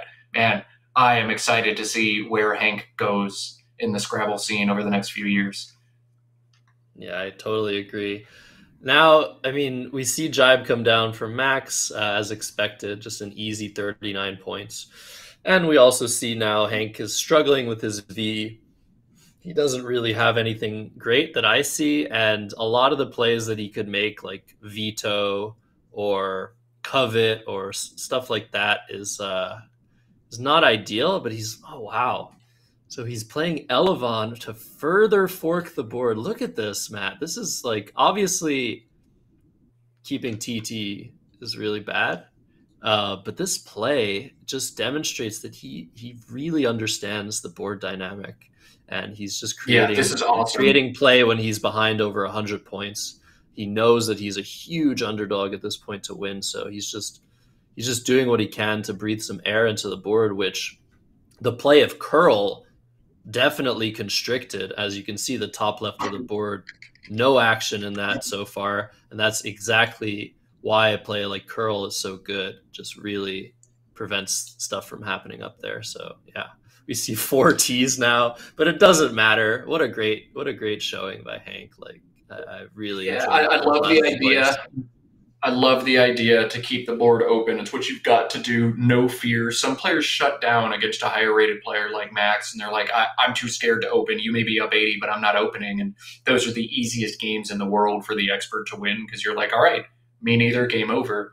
Hank doing what he needs to do. The only issue is holding TT you want to look at how many more are left. And there were four more left, not a single played T.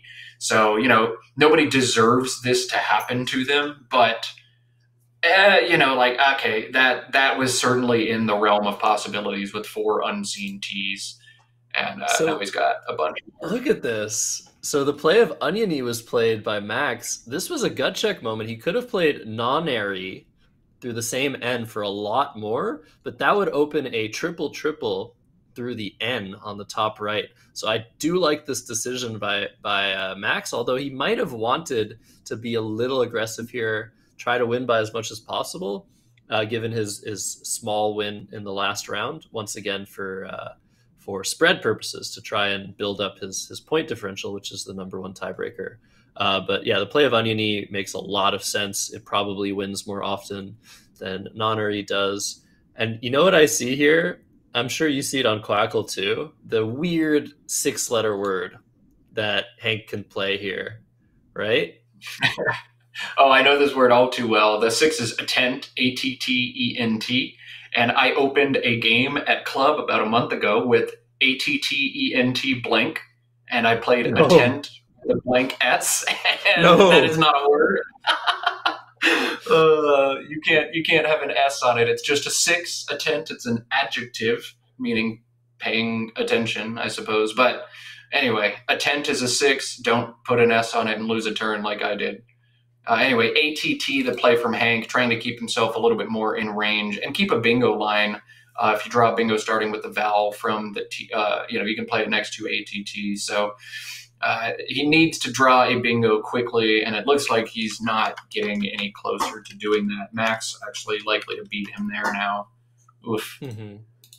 Yeah, yeah, this is this is bad. Um, probably close to over here, but there's still some life. There's still a, a blank unseen uh, to both players, and yeah, Hank's going to be able to to deal with his his letters and score something next turn. The question is, what does Max do in this position? He's up hundred points so, I mean, he's obviously in great shape no matter what.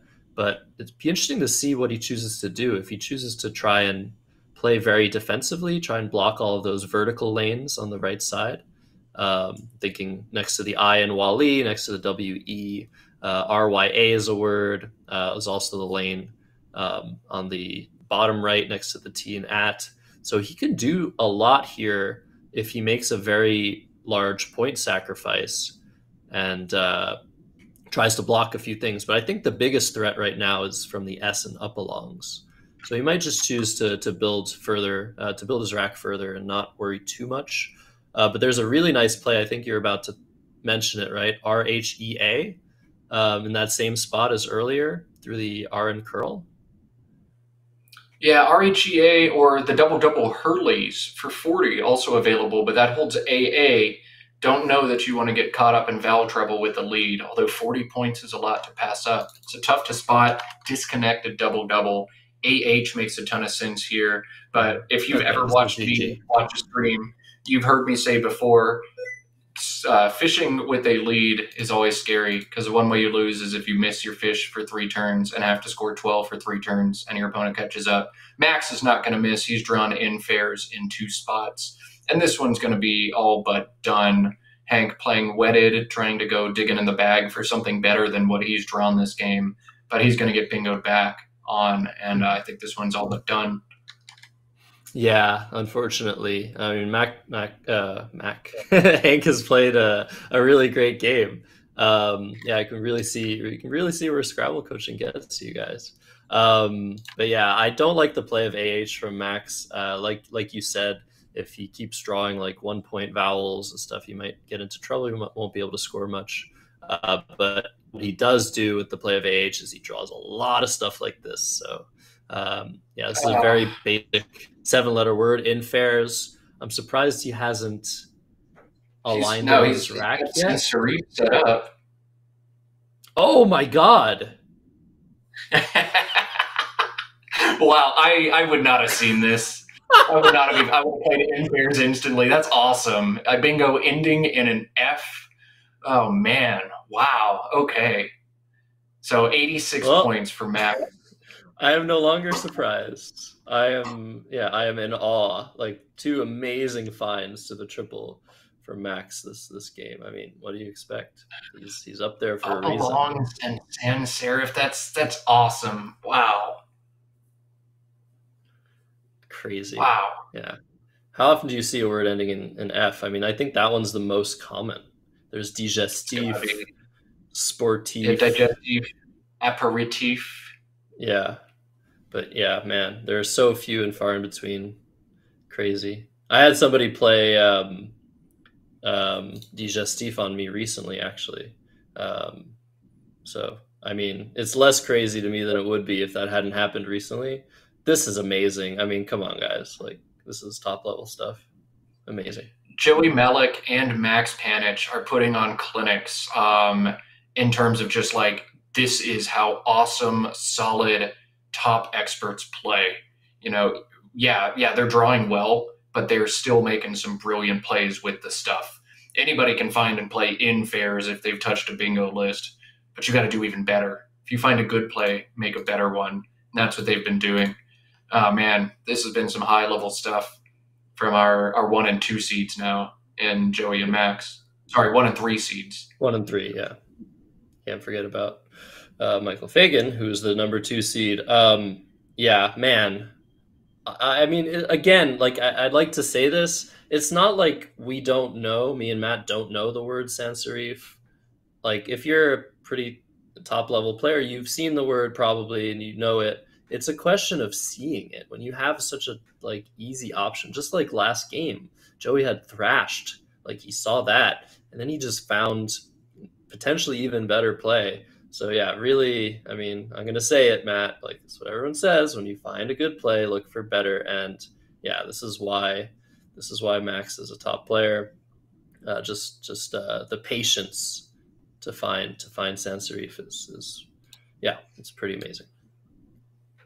So on that last turn, Hank had the opportunity to make a flashy play through the R in curl. He had K R O N A available, just a nice little sneaky fit there. But OKE is going to help him dodge a big X play, though he's still going to get hit with a big X play uh, beneath wedded, I think. Yeah.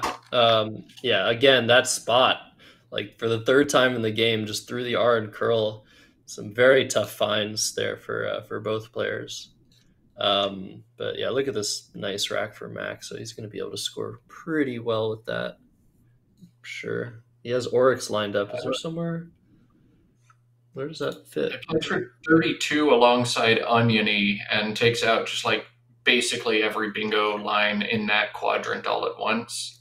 But it's only 32 when just plunking OX is 41.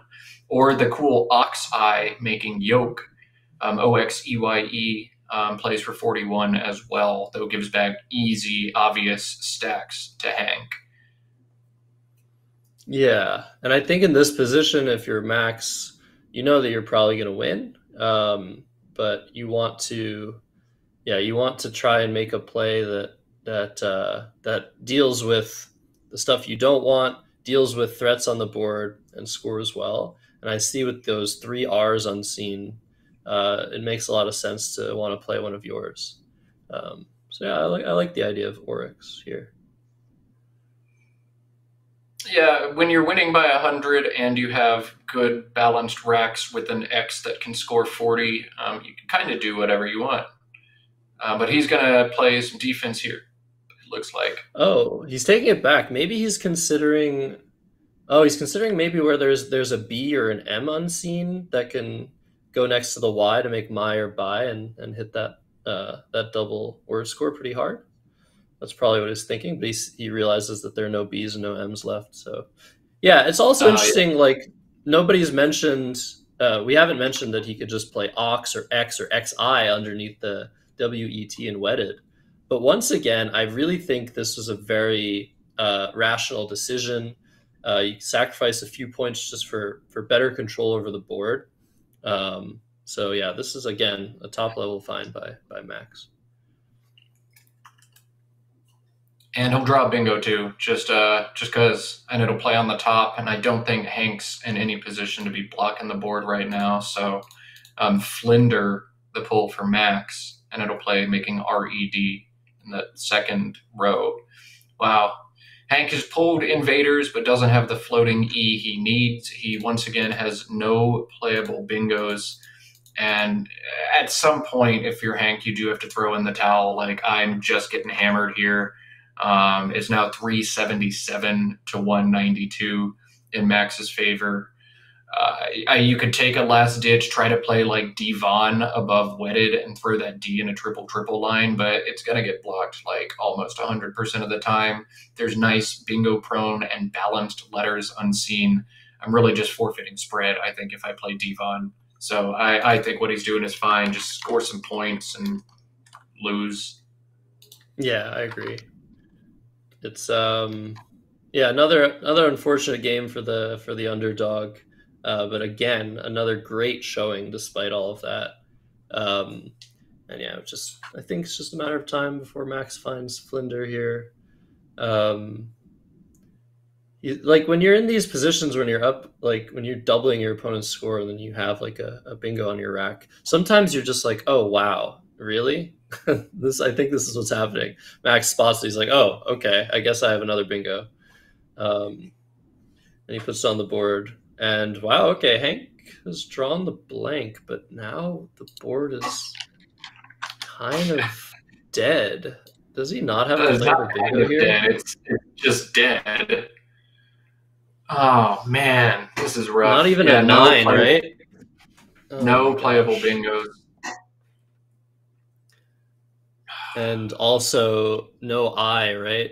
Um, well, he doesn't have an eye for no eyes anywhere. Yeah, um, we've got everything updated on the widget. So nine unseen, two in the bag. Um, E E O P T T U U Z. So I mean, you're worried about big Z plays, but you don't have to worry about plays making ired I R E D, um, which is nice. It's one thing. I think if you're Hank, you just drop your S 29 points for just the S with quags and brooms leave one in the bag to introduce a little fog of war. And maybe you draw something. Maybe you hit a nine through the disconnected IE or LW. I mean, I don't know. But at least yeah. try to keep your rack a little bit dynamic. Make sure Max has to think really hard. Though Hank is probably going to play the S and then draw the Z and then just be sad.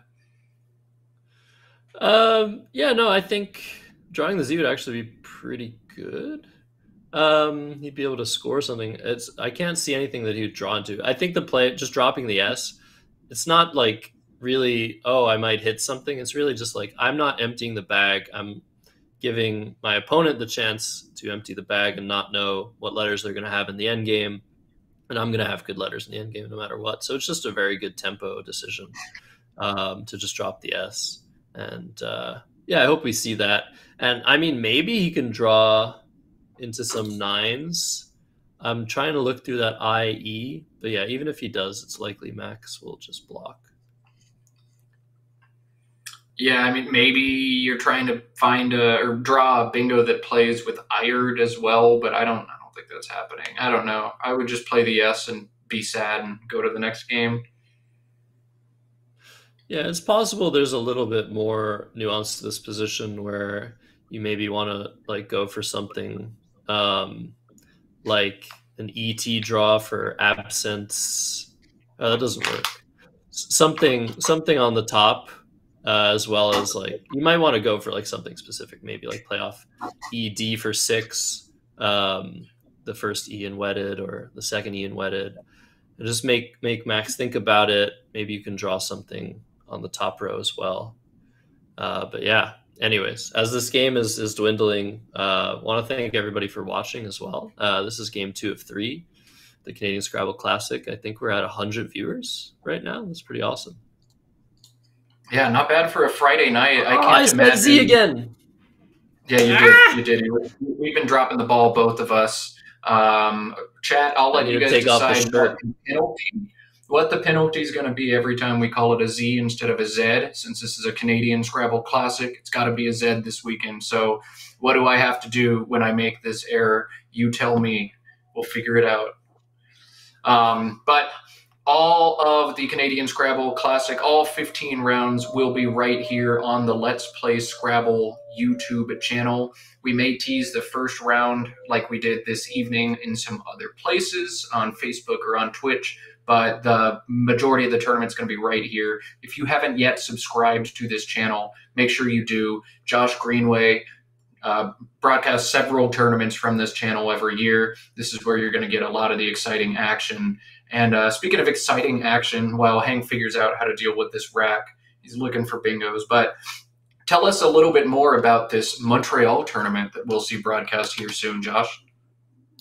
Yeah, absolutely. Um, but before I, I mention that, I just want to point out this might be the position where we wonder if Walie is going to be hooked with an E, right? Because Max has like Quate or Equate there.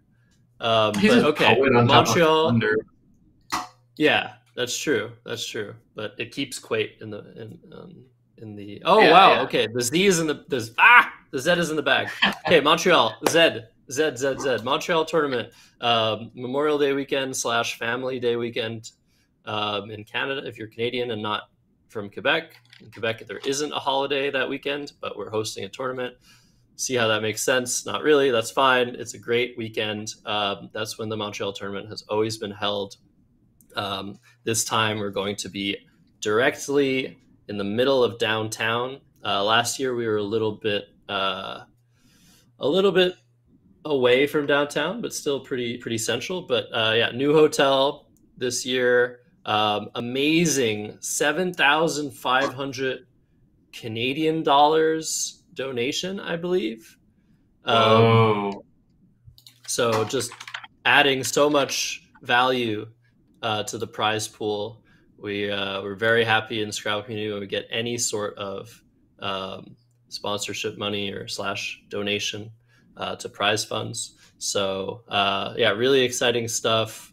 Uh, there's going to be so much promotion though uh, coming up, uh, and we've only just gotten started with the promotion. Um, but yeah, it's going to be a great tournament.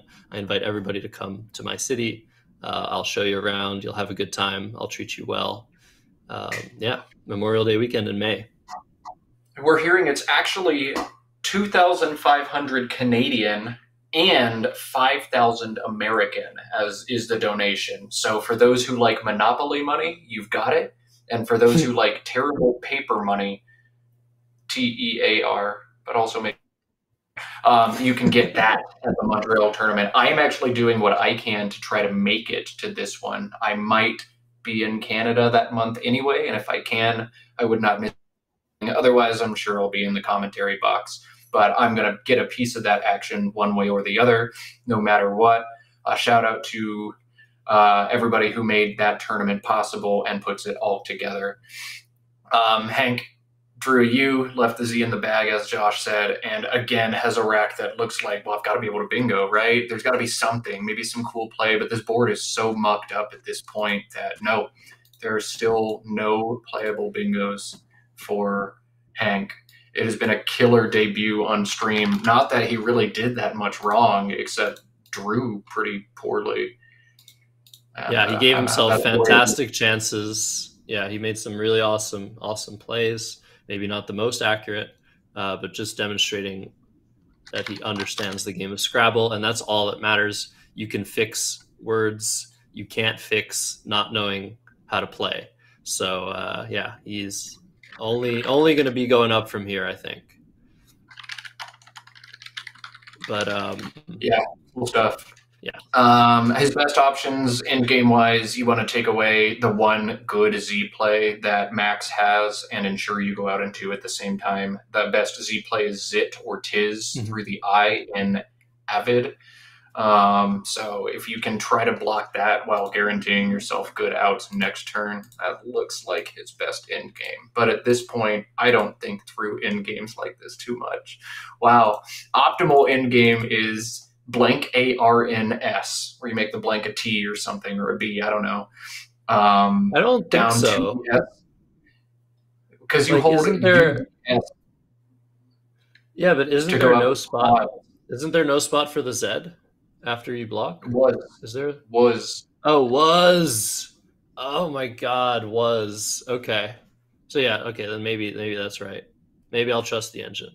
But sometimes in in positions where um, often in positions where somebody can't play a tile once you block their spot uh, the the engine is not going to give the correct end game sequence but yeah in this case okay there is still was for 15 um, yeah uh, as long as you go out in two here it's not a huge huge difference either way. Um, and i think hank is going to do that. He's designating his blank before putting the play on the board. Another debate another debate. What do you guys think of that? I always, I only designate my blanks before I put them on the board, and the fact that it makes people really angry, I think, is funny.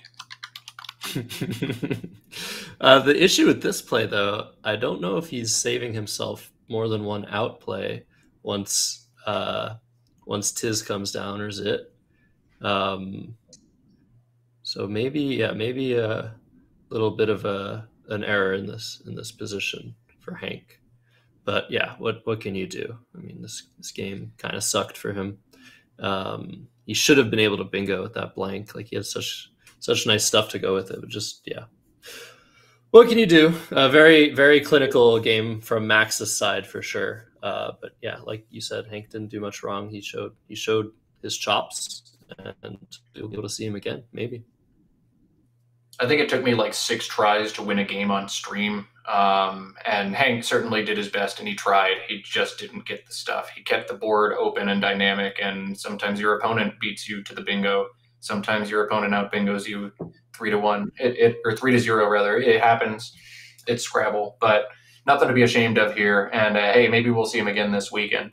Speaking of the rest of this weekend, uh, we have one more game this afternoon. And speaking of Montreal and Montreal's finest, uh, that game will be Michael Fagan against Jason Lee. So don't go anywhere. That's going to be an awesome game. We will be back here on the Let's Play Scrabble YouTube channel at 9:30 Eastern tomorrow, 8:30 for me in Texas, and 6:30 for you diehards on the West Coast with additional Scrabble content. Um, but yeah, don't don't go anywhere tonight. We're gonna have a really good game. Two awesome players, Jason Lee and Michael Fagan, both looking to win this event, both capable of winning this event. That'll be our final one tonight. Yeah, looking forward to this matchup. I've seen these these two play each other countless times at Scrabble Club and at tournaments. Um, do you know what their head-to-head record is? Let's look. Let's look that up. Um, yeah, you can.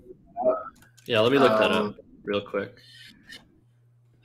tomorrow yeah, they're morning. Both, they're both from my. Go ahead.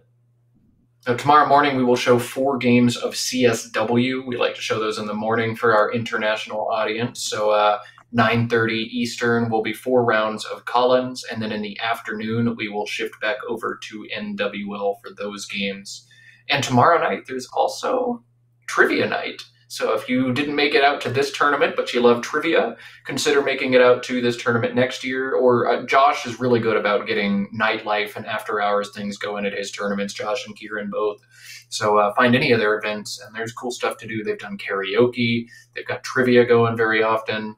I think we sometimes have after hours tournaments like blitz and variants and stuff. So no shortage of fun to have on these Scrabble getaway weekends. Yeah, yeah, yeah. It's always it's always a fun time. Um, I was definitely torn between going to the tournament and hanging out with you, Matt. But you know, quality quality friendship time. I love commentating. Um, you needed you needed some help for sure. um, so yeah, don't you're, you're not quite making me uh, FOMO about the tournament. But yeah, there are tons of fun events at all of the Let's Play Scrabble tournaments.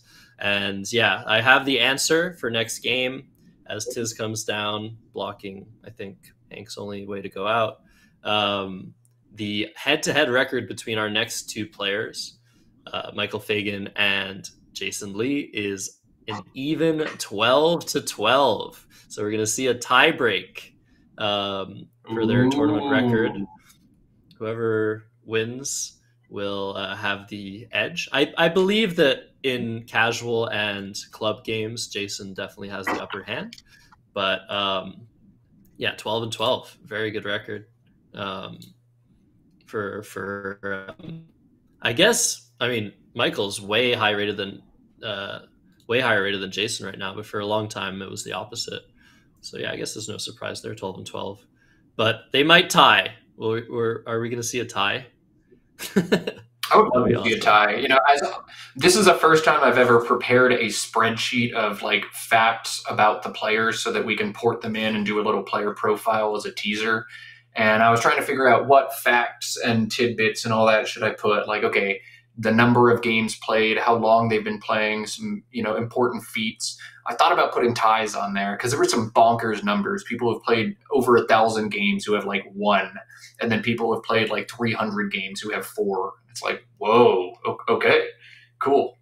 Um, so I thought about it, but I didn't. I'd love to see a tie though this weekend for sure. That'd yeah, be fun. They're super rare. It's one in every few hundred, I think, usually. Um, I don't have the exact numbers but yeah, it was interesting to see. And often when there's a tie, it's because one player messed up in the end game, as we see DUE. So not okay, not the best end game. People do in tournaments try to play a perfect end game because every point might matter um, based on the the tie breaks. But yeah, end games are very hard.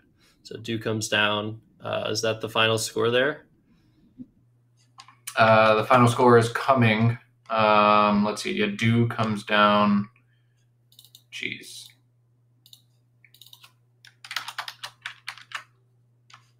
Oh my goodness. Oh, my quackle's exploding. oh no. Um, we'll get the final score for you guys in just a second. Uh, but yeah, unfortunate game for Hank, uh, but very well played. He can be he can be happy uh, about the way he played this game. Um, yeah, hopefully someone will tell him he didn't do anything anything egregious at all. Playing way above his rating, absolutely. And yeah, Max is just so certainly playing above his rating.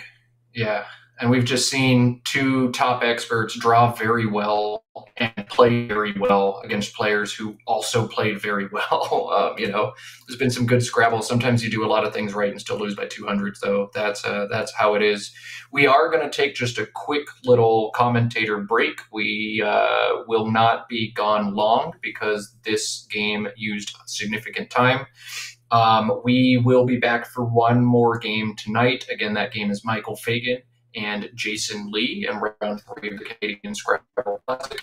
And uh, we'll bring that to you in just a few short minutes. Y'all don't go anywhere. We will be right back.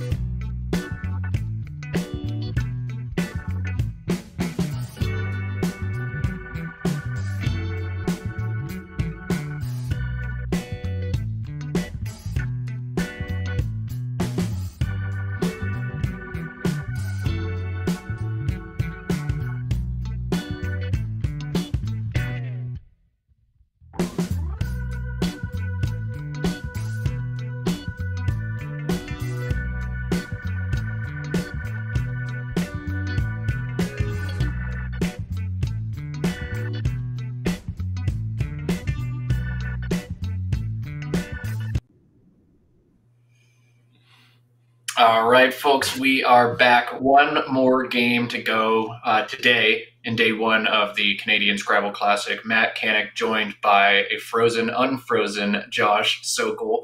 And uh, Josh, to up the ante, make things more Canadian, we brought up the hot sauce. So, okay, to make things more Canadian, I have some maple syrup and I also have some hot sauce. But I don't know. I feel like I, I could do both. If if we say Z again, I'm gonna take a swig of maple syrup and then a swig of hot sauce. I think in that order. What about you? That sounds like it would make some incredible chicken wings, like half hot sauce, half maple syrup, sweet and spicy. I already owe a little punishment because of my previous transgressions with the last letter of the alphabet. So I brought out some of Austin's finest Yellowbird hot sauce, and we're gonna drop some on my tongue, and I'm gonna suffer. Oh, already? Okay, oh. hold on. we're already doing it. We're doing it oh, live. Oh, geez, that was a lot. Woo! How hot? How hot is yours? Spicy. How hot is uh, yours? Sriracha. Is sriracha? Oh, this isn't gonna work. Hold on. Yeah, it's like imitation Mine is sriracha. way hotter than that. So I'm taking a little bit. People have seen me on stream take this. This hot sauce is extremely, extremely spicy. Is this going to focus? No. It might not focus. We're looking at your, your face. It should focus. Come on, camera. Okay, whatever. It has the maximum Ooh. hotness level. It's 120,000 Scoville units. Uh, but yeah, we're ready to preview the players. Uh, they've sat down, I think. Um, oh man, yeah, you're you're coughing. yeah, okay. Ooh, I gotta get that letter so, right. Okay. Both players are one and one. Uh, Jason has slightly better, uh, slightly better um, spread, slightly, slightly better tiebreaker. Uh, currently rated 1870, but he's been over 2000 for a lot of his career. Michael just achieved the coveted rating of 2000, um, I believe, in his last, second to last tournament. Um, yeah, I know these players very, very well. Uh, what do you know about these players, Matt? I know quite a bit. I like to spend time up there in Canada. Um, I'll talk more as they get the tiles going. Let's give them the all clear because I'm sure these guys want to get to bed. It's already 9:30 there. Um, yeah, I've played both of these guys a number of times. Jason is one of my favorite players to watch because I find that he's very creative and very tactical, very mm-hmm. methodical, and just kind of out of the box. He might not have the strongest word knowledge at times. I don't know the last time he's actually touched a word list, um, kind of coasting on what he had 10 years ago in his prime. But he's able to improvise and make up for those word knowledge deficits with some really cool stuff. And Michael, I mean, I need he needs no introduction. He won a North American championship, so clearly this dude knows what he's doing, and he's only getting better. I've seen him on stream at that Nationals. He played all right. He won, um, but he's been playing better and better, I think, in the last 12 months or so. So, with that, we are underway, Jason, to play first A E F N N V Z. And what do you think? We might see a new word. We might see FAV, but I like Fez here, F E Z for 30. You have preferences between Fav or Fez or maybe Faze in this situation? Yeah, I like Fez here. I think it's it's simple. You have the A for za. Um, it's quite defensive. I think it's pretty clear. Um, sometimes you like to keep the Z on your rack um, for future turns, but I think in this case it's worth it's worth the extra points, and he already has it aligned. Um, I'm glad we're getting this Zed out of the way early because I'm not ready to take any more hot sauce shots just yet. But uh, all right, Fez, it is Zed unloaded, and we are underway. Jason leads 30 to 0 as Michael E E I R T T U. Ooh, these racks are rough. These racks are yeah. very rough. Do you play Ute for 10? Like, plays like that are so sad, but there's just, what else do you do? Yeah, I think you can basically play Ute here, either with EF or FE um, or Exchange. I think it's worth playing Ute. Um, it's worth mentioning as well. Last turn, Jason could have unduplicated his ends by playing Zen, but for the six fewer points and keeping the F and the V together, it's actually not even worth, uh, I think, a single point to do that. I think the ANNV is uh, leave is probably even better than AFNV. The and V are so clunky together. Um, Michael's looking at Etui, um, which is pretty dangerous, making IF. That would put the E right above the double letter score uh, for four spots away from the triple, three spots away from the triple. So uh, I would much prefer him playing Ute here, but Etui is also a fine, a fine play.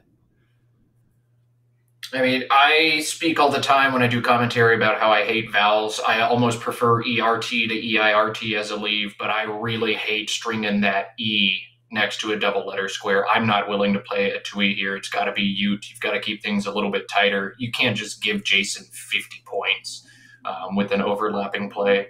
I mean, he doesn't yeah. have it, but Michael can't know that. I think uteri as well is is worth thinking about U T E R I and IF. And there's also maybe just tuftier through the F. You should probably generate a lot of plays here because the first plays you see Etui and Ute, you don't like them. Like no one wants to make a move like this on their first turn.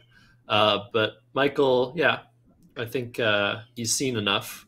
He's uh, he's ready to play Ute uh, for for ten on points. Top. Yeah. Uh, it's interesting. Interesting. The reason to do that would be that he's setting up REF for himself. It's a lot harder to overlap. Um, but yeah, playing underneath, you you uh, keep the E open and Fez for words ending in E. I think it's a, it's, I don't know, it's a close choice between the two. I never really know what to do, but look at that. Yeah, this is exactly why Matt hates those positions. Yeah, it's just sometimes you have this game. Everybody's had these games where you like have to make a play like Ute, and then you draw AOO, and then you don't bingo for three more turns, and you're scoring like twelve a turn, and all of a sudden you're down one seventy to forty five, and it's just sad. Um, you, Michael gave a very visible tell. I probably shouldn't say that on stream, but I just did. Did you see his head crane off to the side when he drew AOO?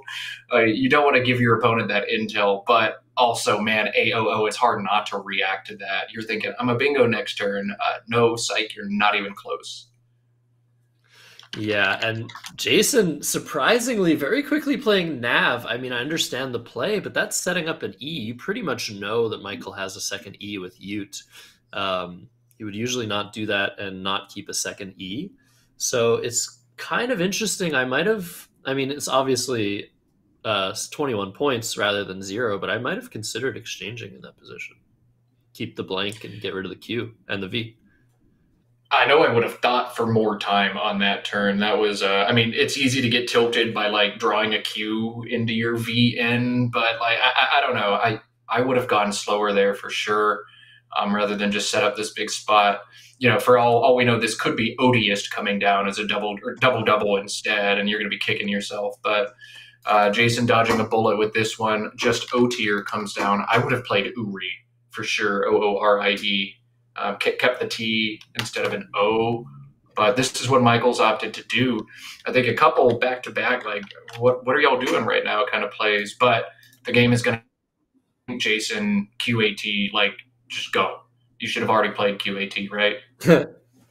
no, again, like uh, it's worth when you have a blank and a Q, it's worth thinking like maybe you have some 50, 60 point play. Uh, but yeah, this, this is very obvious in hindsight. The second best equity play, according to Quackle, is QAT blank. Just put the blank at the end. That's yeah. how much better other option. That's incredible. and not a good pull for Michael to his lone O. Again, a reason why he might have wanted to keep a consonant for a small point sacrifice. Uh, it, it, ensures a little bit more balance. Um, and he sees he sees a very nice six letter word of halu, which does play with loot. Um, but that keeps a lone V, which is just one of the worst letters you could possibly imagine keeping. Um, so yeah, this is not great for Michael, but Halu might be his best option. It's gotta be. Uh, hello, one of those kind of word knowledge check too, but like you can spell hello basically any way you want. Just put H blank LL blank or blank blank and just put any vowels you want in those holes, and it's almost always right. Um, I don't know that I've ever even guessed wrong on one. You can make hilu, hilua, hello, hallo, hello. Like just do whatever you want, dog. Just and, and, that's what Michael's done here. But this one is probably one of the rarest of the bunch that you could draw. So nice flex for Michael, knowing that this is good and playing it. Yeah, and to people wondering if you should have played hello uh, instead, while we get the scores updated, um, H U L L O in the same spot, keeping the O with the V is almost definitely not worth it. Um, and yeah, the reason for that is the O and the V just go terribly, terribly together, and so it's not even it's not even worth uh, not opening that that hotspot next to the second O. So I think this is a very good decision by Michael, knowing that the O and the V are not friends. Um, so Jason Jason's going to bingo here. But Jason has one sick, nasty, awesome bingo. I'm not saying any more than that just yet. Little puzzle for Josh now that you have that bit. But drawing a bingo with the G to front hook Odier, you're looking at Wagend. That's what Jason's doing. Wagend and Godier for 78. 95 is available this turn. Yeah, I'm looking through the EN. Um, man, what could it be? Is, it it's not through the, the like, EN. It's not through it's the not EN. Through the oh my god, is it what? Uh, I'm hoping people in ch- chat. So it actually fits through the. Yeah, poundage oh, wow. was spoiled by chat. Poundage wow. with the one for 95. That would be a flex for Jason if he's able to find it. I don't think I'd even look wow. there. That's crazy. I did. I was looking at maybe starting with the N, and I quickly dismissed any words starting with the N going through that U. Poundage. You have to make the blank the first letter and hook a U. So few letters to U. This would be incredible find by Jason. But uh, yeah, it looks like he's uh, he's seen enough, and he's going to play Bondage. It looks like uh, and Godier. All right, Bondage. Obviously, a very, very, very good play. Yeah. But uh, man, that would have been incredible. And look, it's in the right order too. oh, it is. oh, he's gonna be so uh, upset when he realizes that he put a, could have played those letters in the exact same order somewhere else. Uh, I hate when that happens getting to watch Scrabble on the stream like this is so interesting because you see players of different ability levels. We just saw Joey Mallick do some nutso stuff with like a begging and finding the most optimal, you know, sequences, milking every point out of every rack. And then we watched Max Panitch do the same thing, turning infares into sans serif and all that. And then Jason just, I mean, poundage is so hard to spot, but I wonder how many players in this room spot that. Maybe zero, Maybe there's two or three, but uh, Jason, at least tonight, was not one of them. Yeah, and it's always a like a it's a it's a probability. Like he anybody in this division can spot that if they know the word, but just actually spotting it, I don't know. I would give any player maybe like twenty percent chance tops of seeing something like that. That's crazy. The blank I mean, if, if you put it out as a puzzle and say there's something here, like, okay, I think most people could eventually find it but just to spot it over the board, knowing not not knowing there's a puzzle, not knowing there's a solution, looking for it and then finding it. I don't know. Here's how you find well. the word. The way you find the word is once you draw your letters, you spot it immediately before Michael block seems to block the spot.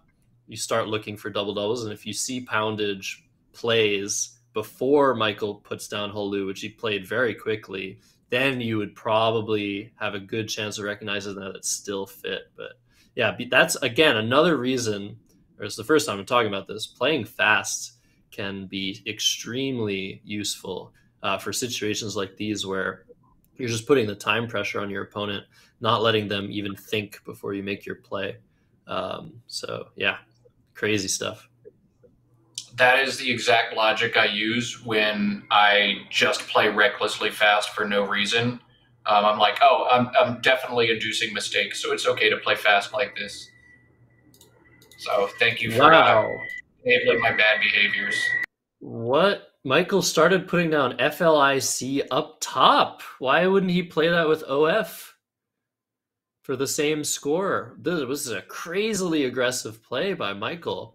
I think he maybe just didn't recognize that he could play the same word vertically. I think he wants to open the volatility. He's down over 100 points already at this point. Um, I don't know that you need to do that, but I don't know that I'm smart enough to answer that question either. It's got to be deliberate here. You know, FICO to the O or Flick and OF are obvious plays. And look what he's done. Now he's in. Michael had a plan. Four dimensional chess. Wow. Yeah, you're right. I didn't even think about the score there. Um, I was just thinking about the position. No, this this actually makes sense in hindsight. Um, it might not be right because you're just giving Jason easy plays. Maybe he's going to play cagier here, um, get some easy easy scores, but you're doing good things to the board. So yeah, I think actually, in hindsight, um, I was a little bit hasty there judging that play. Uh, did not think about the scores at all. Yeah, yeah if you play if you play Fleek with OF, it's just not. Yeah, it's not good for the board. So Jason's going to have to make a bit of a sacrifice on his leave. He's getting 30 points, um, but EYING looked to be a really nice play for him through the N and bondage. 27, clear up all this muck.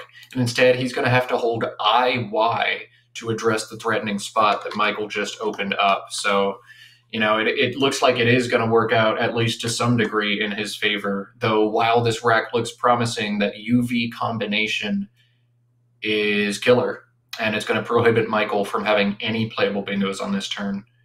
And I can tell you right now, Jason shouldn't either. oh, oh, man, guys. Uh, I mean, that's IY. Like it goes poorly a lot, but man, uh, it's ugly to look at when it does. Yeah, that's that's very sad. Um, so it looks like okay, Michael's looking at ERUV here. Um, he could just play VUM um, next to the U eight, next to the HU in Halu. Um, is he thinking of Eruvims or just Eruv? Oh my god, please don't play Eruvims. Eruvim is good, but if you know anything about the Hebrew language, you know you can't put an S on that. Huh. I don't think he's going to end up playing that, but he's probably wondering if it's a word. Uh, but yeah, crazy draw for Jason too. So Michael's going to have a chance to come back in the next couple moves, even if he doesn't have a playable word. Um, so he's, huh? Oh, he's playing. He's playing it. Oh no! Oh no! There are some words like this. That's the thing. There are some words like this: cherubims, seraphims, but but yeah, those aren't those aren't Hebrew. Those aren't putting I am at the back of your word. But the clock is running. Michael's on hold. Michael's on hold.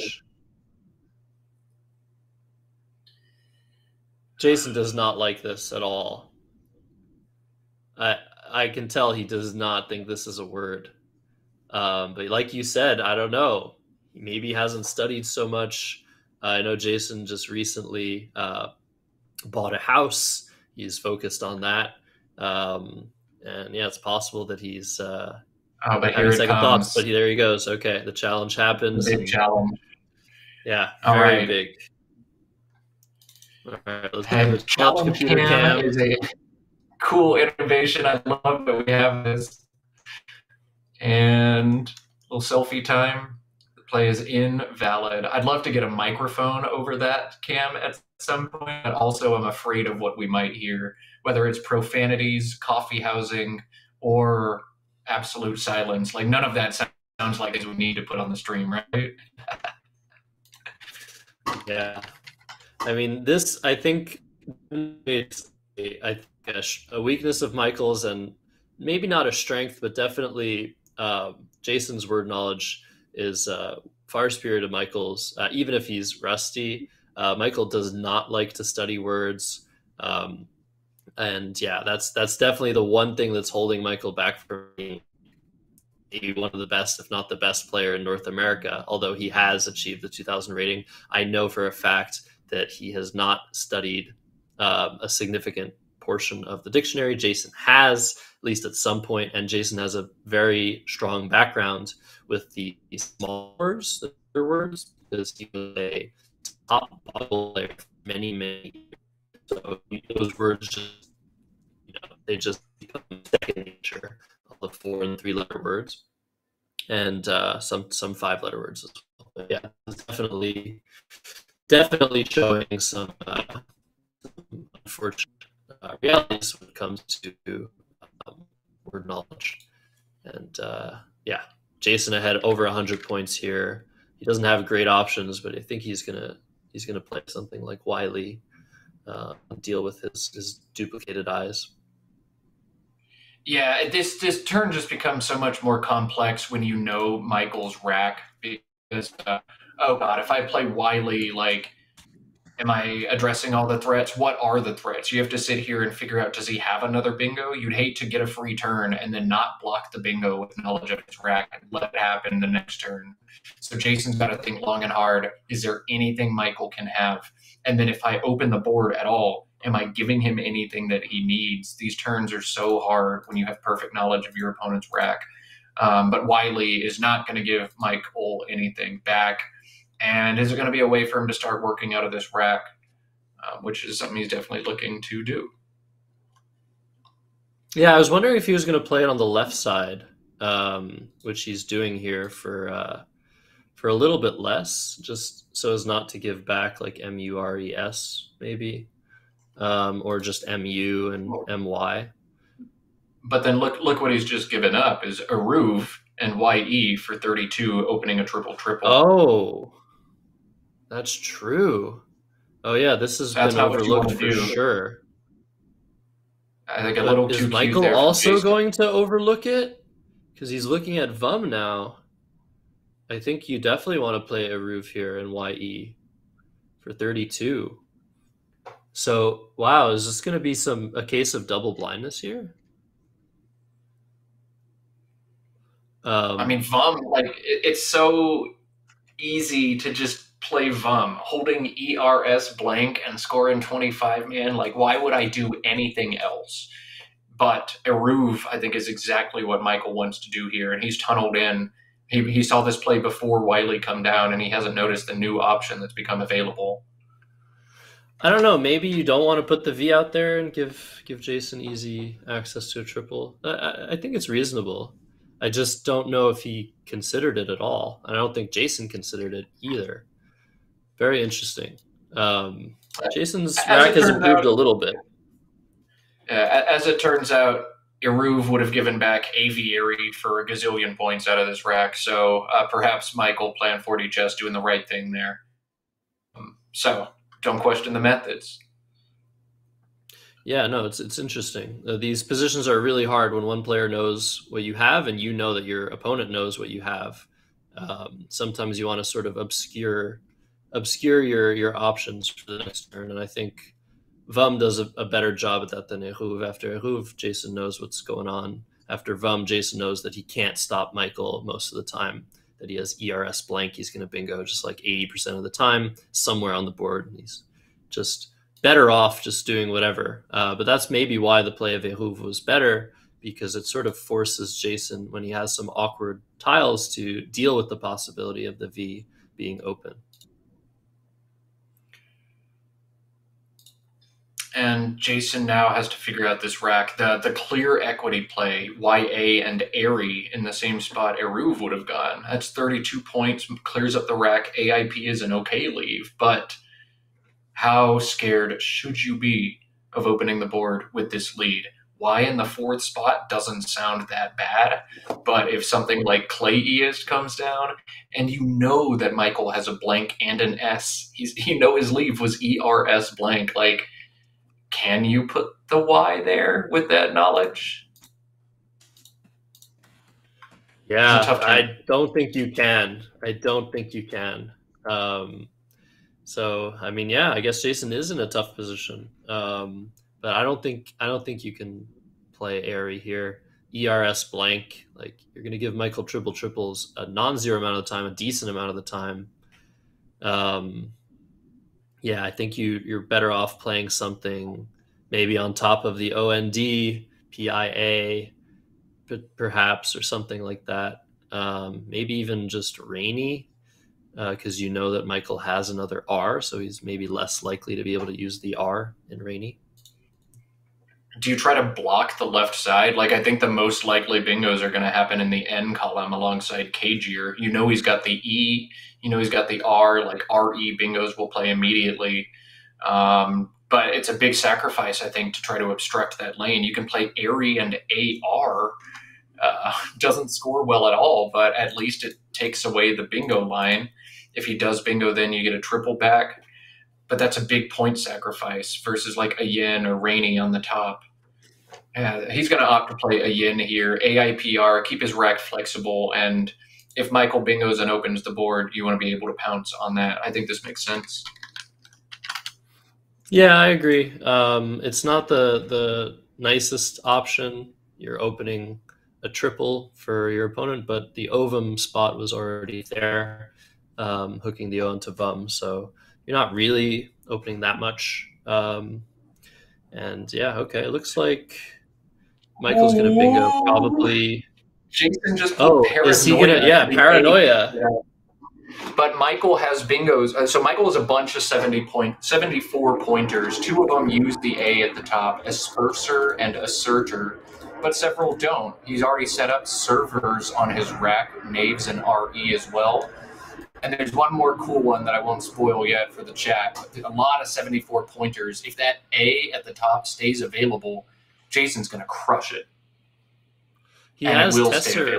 Oh, no, he doesn't have Tesseract.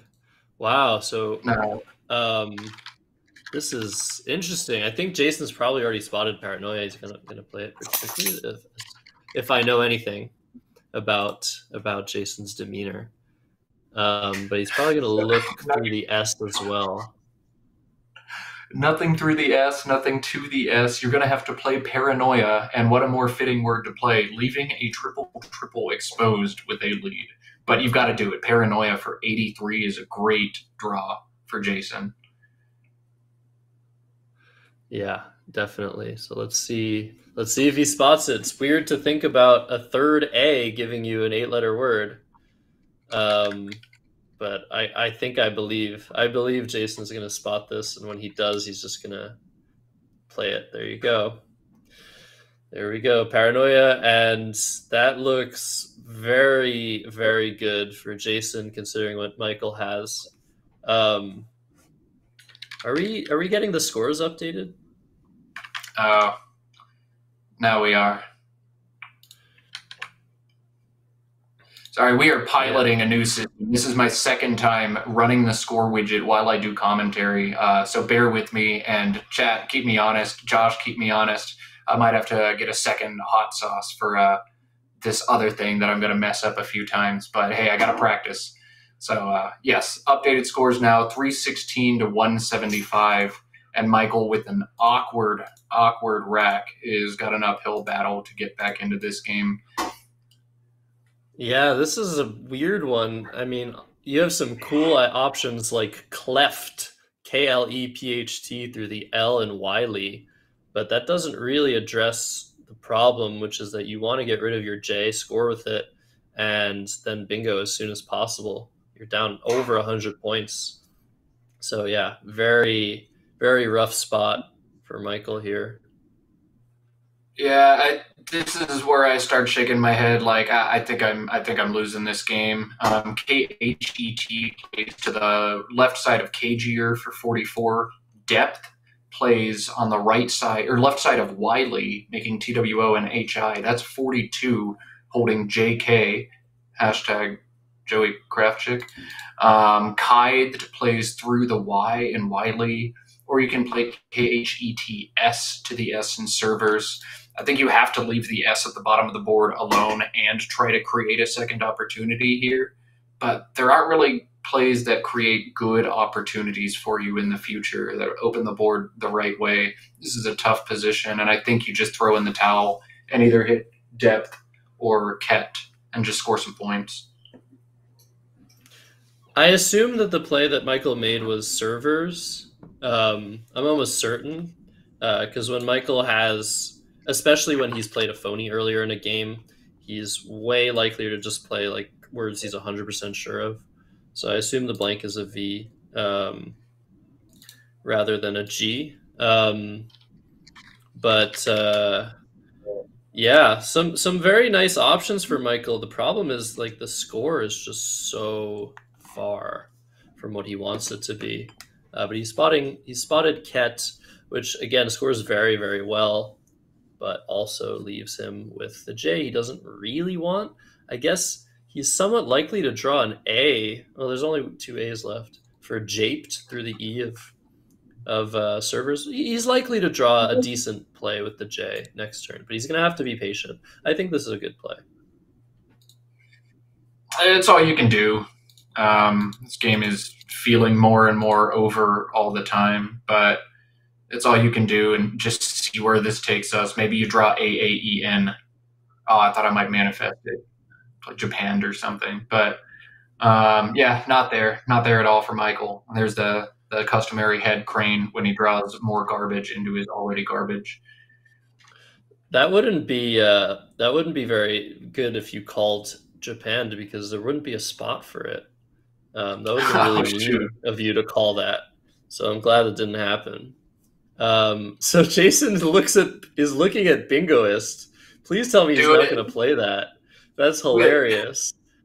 I feel like he's he's just uh, having a little laugh here, but I mean it's close to bongoist and jingoist. It could very well be that he's confusing a few words and that he's going to try this. Okay, my heart is racing here. Uh, if there's one thing Jason can do to blow this game, is it's phony. So I think he's going to be a little bit more conservative here and uh, go for something he's more sure of. but yeah, um, yeah, just block the S here, I think, and you're you're doing great. Boring or boings. You guys want to learn be... a word if you don't know this one already? It's a five, the anagram of biogs, which he could yeah. play to obstruct Bigos, the yeah. S. Yeah, B I G O S is uh, a little five. Just a fun one. You shouldn't almost ever play it, especially when it has a valid anagram. But now you know it. B I G O S, sticky S. Well, Honestly, Matt, doing something like that is a great idea in positions like these because your opponent's going to challenge way more often than usual because they're in such a bad position. If there's a word they don't recognize, they're very likely to just say, "Oh, my best chance of winning is if yeah, this word I don't know is, is invalid." So yeah, something like Bigos actually has a lot of uh, but yeah, points down. Jason draws pretty decently, pretty balanced to his IT leave. Draws oh, yeah. an yeah, that's a, that's a good goal. Wayne Scott and yeah, stuff like that. Over. If he gets the right floaters, he won't, but you know. Uh, and Michael's just found more muck. I think at this point you just have to play tempt through the Ian servers. Te- uh, oh, Teddy plays beneath paranoia. T e d d y, holding J yeah, yeah maybe. Yeah, where can you play? I don't think you can play tempt. I don't think you can play tempt, right? But yeah, I think Teddy Teddy makes sense. He can draw into like jumpiest, maybe like jump rope stuff like that. Pajama, like there's some some big might even pump jack. That's not available though. P and paranoia. How much would that score? Got any quick math? Quick maths in the chat. Yeah, where's Mack when you need him Just instantly? 143, I think. I think 143 for pump jack. Yeah, Bigos uh, in the NWL lexicon is a, is a yes. I think BIGO might be a word. In oh, is, is BIGO good in columns? Oh, wow. Oh, you mean tempt, T E M P E D. I thought you were trying to play tempt with two T's. My bad. Oh, Must no, yeah. American through, accent. Through, oh, so close accent. to jump rope. Oh wow! wow. Yeah. Jump. Wait for any way he can get jump ropes. Yeah, maybe go for jump ropes. Like play PE. no, you can't do that. The blanks are gone. There's no more P's to draw. Um, but Michael did draw a very nice play of like po- poems. Oh no, he didn't. Joys. He has joys through the the Y and Wiley. Um, Jason verifying the tiles left. This is something you'll see very often as the game gets closer to its end. He wants to make sure that he's not going to be making a play that empties the bag or leaves a, a good amount of tiles in the bag for Michael to come back with. He definitely wants to play a lot of a lot of tiles here if he wants. Honestly, you might just play tawnies here through the E and servers just to I don't know, score some points and and uh, yeah, yeah the game end faster. At this point, eleven in the bag. So if you can play off at least five tiles, uh, you can't get bingo bangoed, and the game's essentially over at that point. You're not going to lose to anything but a bingo bango. So, I mean, yeah. And a bingo think, bango, for those unfamiliar, is two bingos in a row. Um, we have such amazing terminology in our in our Scrabble world, don't we? yeah, this is oh, pretty easy. Wait, All he has to do is play is play four. Yeah, yeah, yeah. So playing Wino makes perfect sense. And Jason is very much aware of these uh, these tactics, making sure there are fewer than fourteen um, tiles unseen. There, thereby not allowing Michael to use all of seven of his tiles two turns in a row. So yeah, anything four points or four tiles or more here is just gonna seal the deal, I think. Um, yeah. Yeah. So if he's playing off four tiles, that's that's that's all there is to this one. And Michael's not even going to have the bingo anyway. So good decision by Jason. I think this is some great heads up pre end game thinking. Yeah, this is what I mean. This is how I got good at Scrabble. Is Jason? He was uh, in around 2010. He told me, um, "Hey, do you want to get good?" And I was like, "Yes, I do." He's like, okay, let me help you. And uh, for over five years, Jason and I would play tons of games, would uh, talk about our games, analyze our games. And he was just a great teacher. Indeed, is a teacher in real life, chemistry professor in a college. Uh, I know you like that about him, Matt. Um, a good yeah. teaching man. Everybody likes a good teaching man. And um, yeah, absolutely was um, essential in uh, getting me into uh, deep into Scrabble. Um, at that time, Michael as well was an up and coming player, but more of a lone wolf type of not taking advice, uh, paved his own path. Um, and yeah, won a national championship before either me or Jason Lee did. So, hey, um, two very, very strong players. For a long time, Jason was the top player in Montreal he was uh, teaching me and Michael lessons most of the time we played. Uh, but yeah, the younger players have uh, have surpassed him at this point. Jason had a pretty low rating of under 1900, uh, but he's looking to uh, looking to do well this tournament. We'll see. Anything can happen. Um, extremely strong player, and uh, yeah, I think this game's going to him. Gonna put him at two and one. Pretty good. Pretty good record, all things considered. Yeah, Jason would need to fall out of his chair at this point to not win this game. It's it's done. There's not even a hail mary I can see for Michael that gets him back in, unless Jason makes a severe blunder or something. Yeah, he's going to be able. Michael's going to be able to score. Go ahead. Yeah, this is a 2024 Canadian Scrabble Classic. This is the final game we have tonight. But if you're just now joining us, we are back live at 9:30 a.m. Eastern Time tomorrow. We'll be showing four games of CSW in the morning session, four more games of NWL in the afternoon session tomorrow, and games on Sunday morning as well. If you haven't yet, uh, go ahead and subscribe to the Let's Play Scrabble channel. That is where all of the action will come to you from. We may also tease one round on some other platforms, but we'll pull it back here afterwards. Um, so like and subscribe, like this video, like all of the videos you watch that have Scrabble, because the more likes we get, the higher up the algorithm we get pushed. So always want to try to do that and get Scrabble going out there. I'll never stop giving this spiel as long as people keep coming out and watching Scrabble with us. Um, but yeah, 9:30 a.m. tomorrow means I'm waking up bright and early on my Saturday, but I'm excited to do it to watch some of these awesome CSW players. The field here has a lot of really good names, and we'll get some good Scrabble tomorrow. Yep. Um, unfortunately, yeah, of course, the sometimes as it goes, uh, all three games that we covered tonight were pretty one-sided. Uh, but the the beauty of Scrabble is that no matter what the score is, many interesting things are possible. Uh, Michael looking try and steal uh, victory out of the jaws of defeat here, maybe looking to play joy. Uh, maybe he can draw a huge play from the P in paranoia, but um, Jason has very good technique when he's ahead.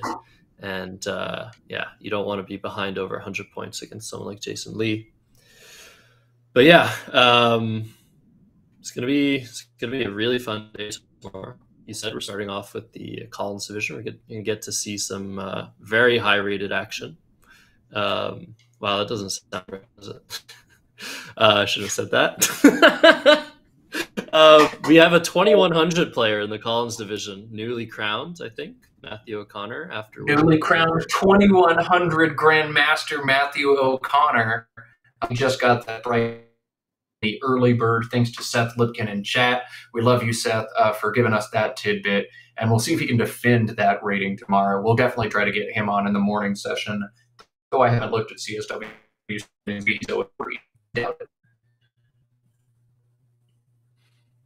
Yeah.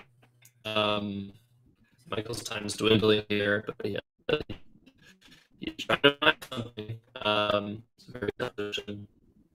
Jason on his end has some pretty good tiles. I don't think he has a full bingo, but he might get greedy depending on what Michael does. Uh, if he doesn't see much possible uh, for Michael to do as as the uh, tiles in the bag get more and more. Um, what am I trying to say? As fewer and fewer tiles remain in the bag, you have more and more information about uh, the possibilities it looks like Michael's going for projects from the P, a very nice attempt. He's trying to draw the C and the T.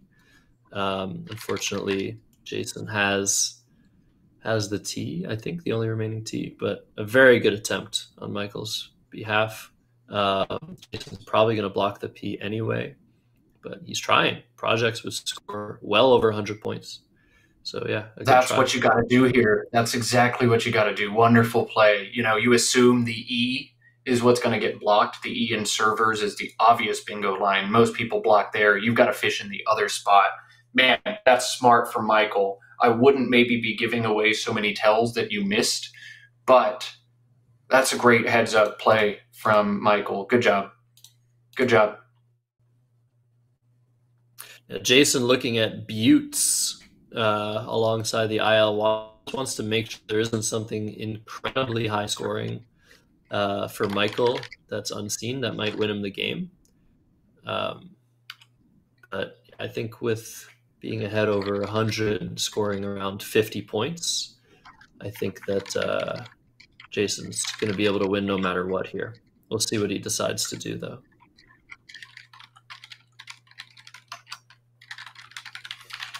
Projects going on about yeah. player yeah, chat's going on about player titles and all that. That's something NASPA has toyed with in the past, kind of dabbled in. You know, who, what's a what's a master? What's a grandmaster? What's an expert? Um, is there a clear cutoff, or is it over time kind of thing? Uh, those haven't been updated in a while, and I literally just decide what I want to call somebody now, whether I want to call them an expert, a top expert, a master, or a grandmaster.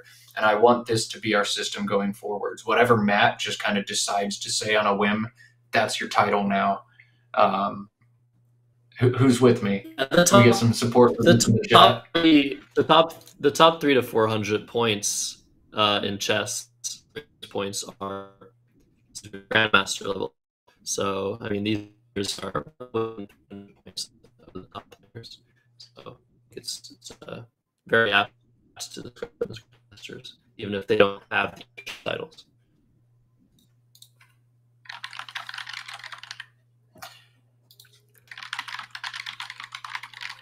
Uh, yeah, chess is a different game than Scrabble too.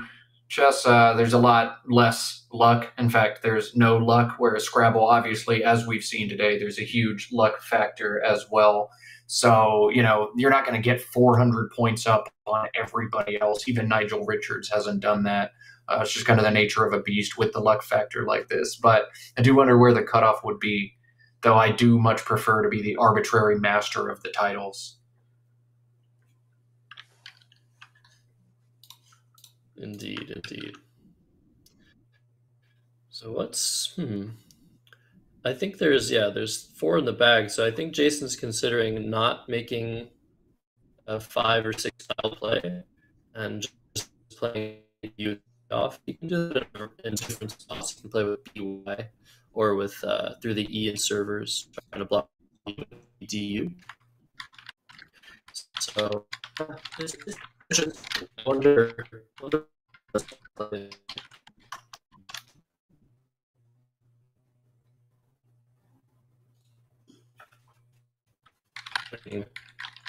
I keep calling people Mac. I've been watching too many YouTube videos. Or not enough. Um, right? with the with the audio, but um, hearing. And if you can, I think uh, game is obviously going down to the last bits, and looks like Jason's going to play Butte, or just Butte. Probably just Butte. Oh, he's playing S as well. I, I think you want to make absolutely sure that opponent does have the worst case nightmare bingo. Like you're not going to lose to it. Clearly, Michael was fishing for something. You see a J and an X unseen. Like if you did hit whatever it is, it's going to be a hundred. Let me put every point on the scoreboard that I can right now, just in case it happens. But we know that it won't, as Michael picked up the X and not what he was looking for. Yeah, nice draw for. He's going to be next turn with Dan as well as the E server at the very least, servers at the very least. So Michael's just to have to maximize his score this turn and uh, yeah, unfortunate loss for him. Gonna put him at two. Jason's gonna be at two and one. Let's let the let's let the last moves play out. Uh, spread can be salvaged uh, from this game, and uh, how ugly it's going to end up being when it's all said and done.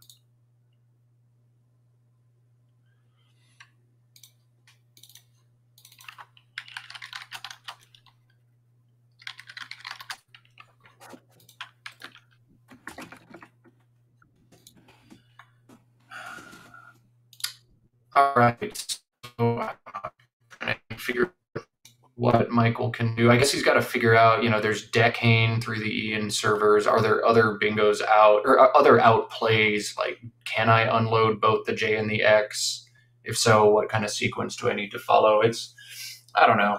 Uh, a lot to think about. My Quackle has exploded, so I couldn't end game, and I'm kind of tired and talking at the same time, so I'm not going to solve this one. But this is a big decision. You got to know do I have one play or two? If I have one, I got to optimize it. If I have two plays, um, you know, I got to think through what's best, what's next best, or what do I do next turn.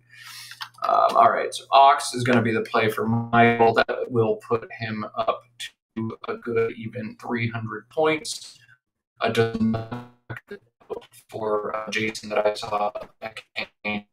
So Jason's going to go out and that will be into the next 24 points off Michael's back. Michael just barely managed to touch 300. We had three terrible games on board one. And I don't terrible like people playing terribly. I just mean like the player sitting on the right going second.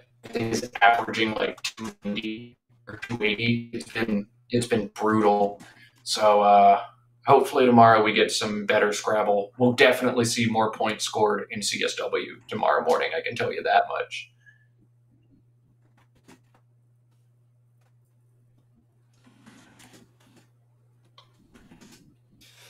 Yeah. So just trying to make sure the D word, um, like I said, his short words are very good. Michael is going to challenge this outplay, I believe. And yeah, the game is going to end 461 to 300. Yeah, Michael. Oh, yeah, looks like he's challenging. Is he, or is he just letting Jason? Yeah. Oh, he's just letting Jason. Uh, Jason plays outplay. Okay, interesting.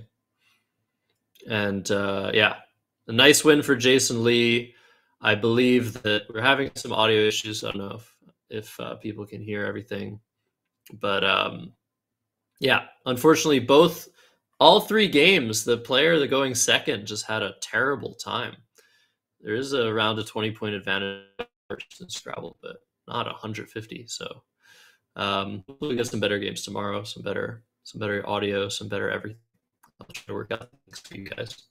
And um, yeah, this is uh, the 2024 Canadian Scrabble Classic, third of its Um, think we're just gonna uh, play play the stream out. I appreciate everybody coming in and watching. I've been Josh Sokol with Matt at 9:30 a.m. Eastern tomorrow morning, 6.30 Pacific, 7.30 Mountain, 8 Central, and all the other time zones. So uh, good to see all of you in the chat. Uh, thanks for watching, and see you all tomorrow. Bye.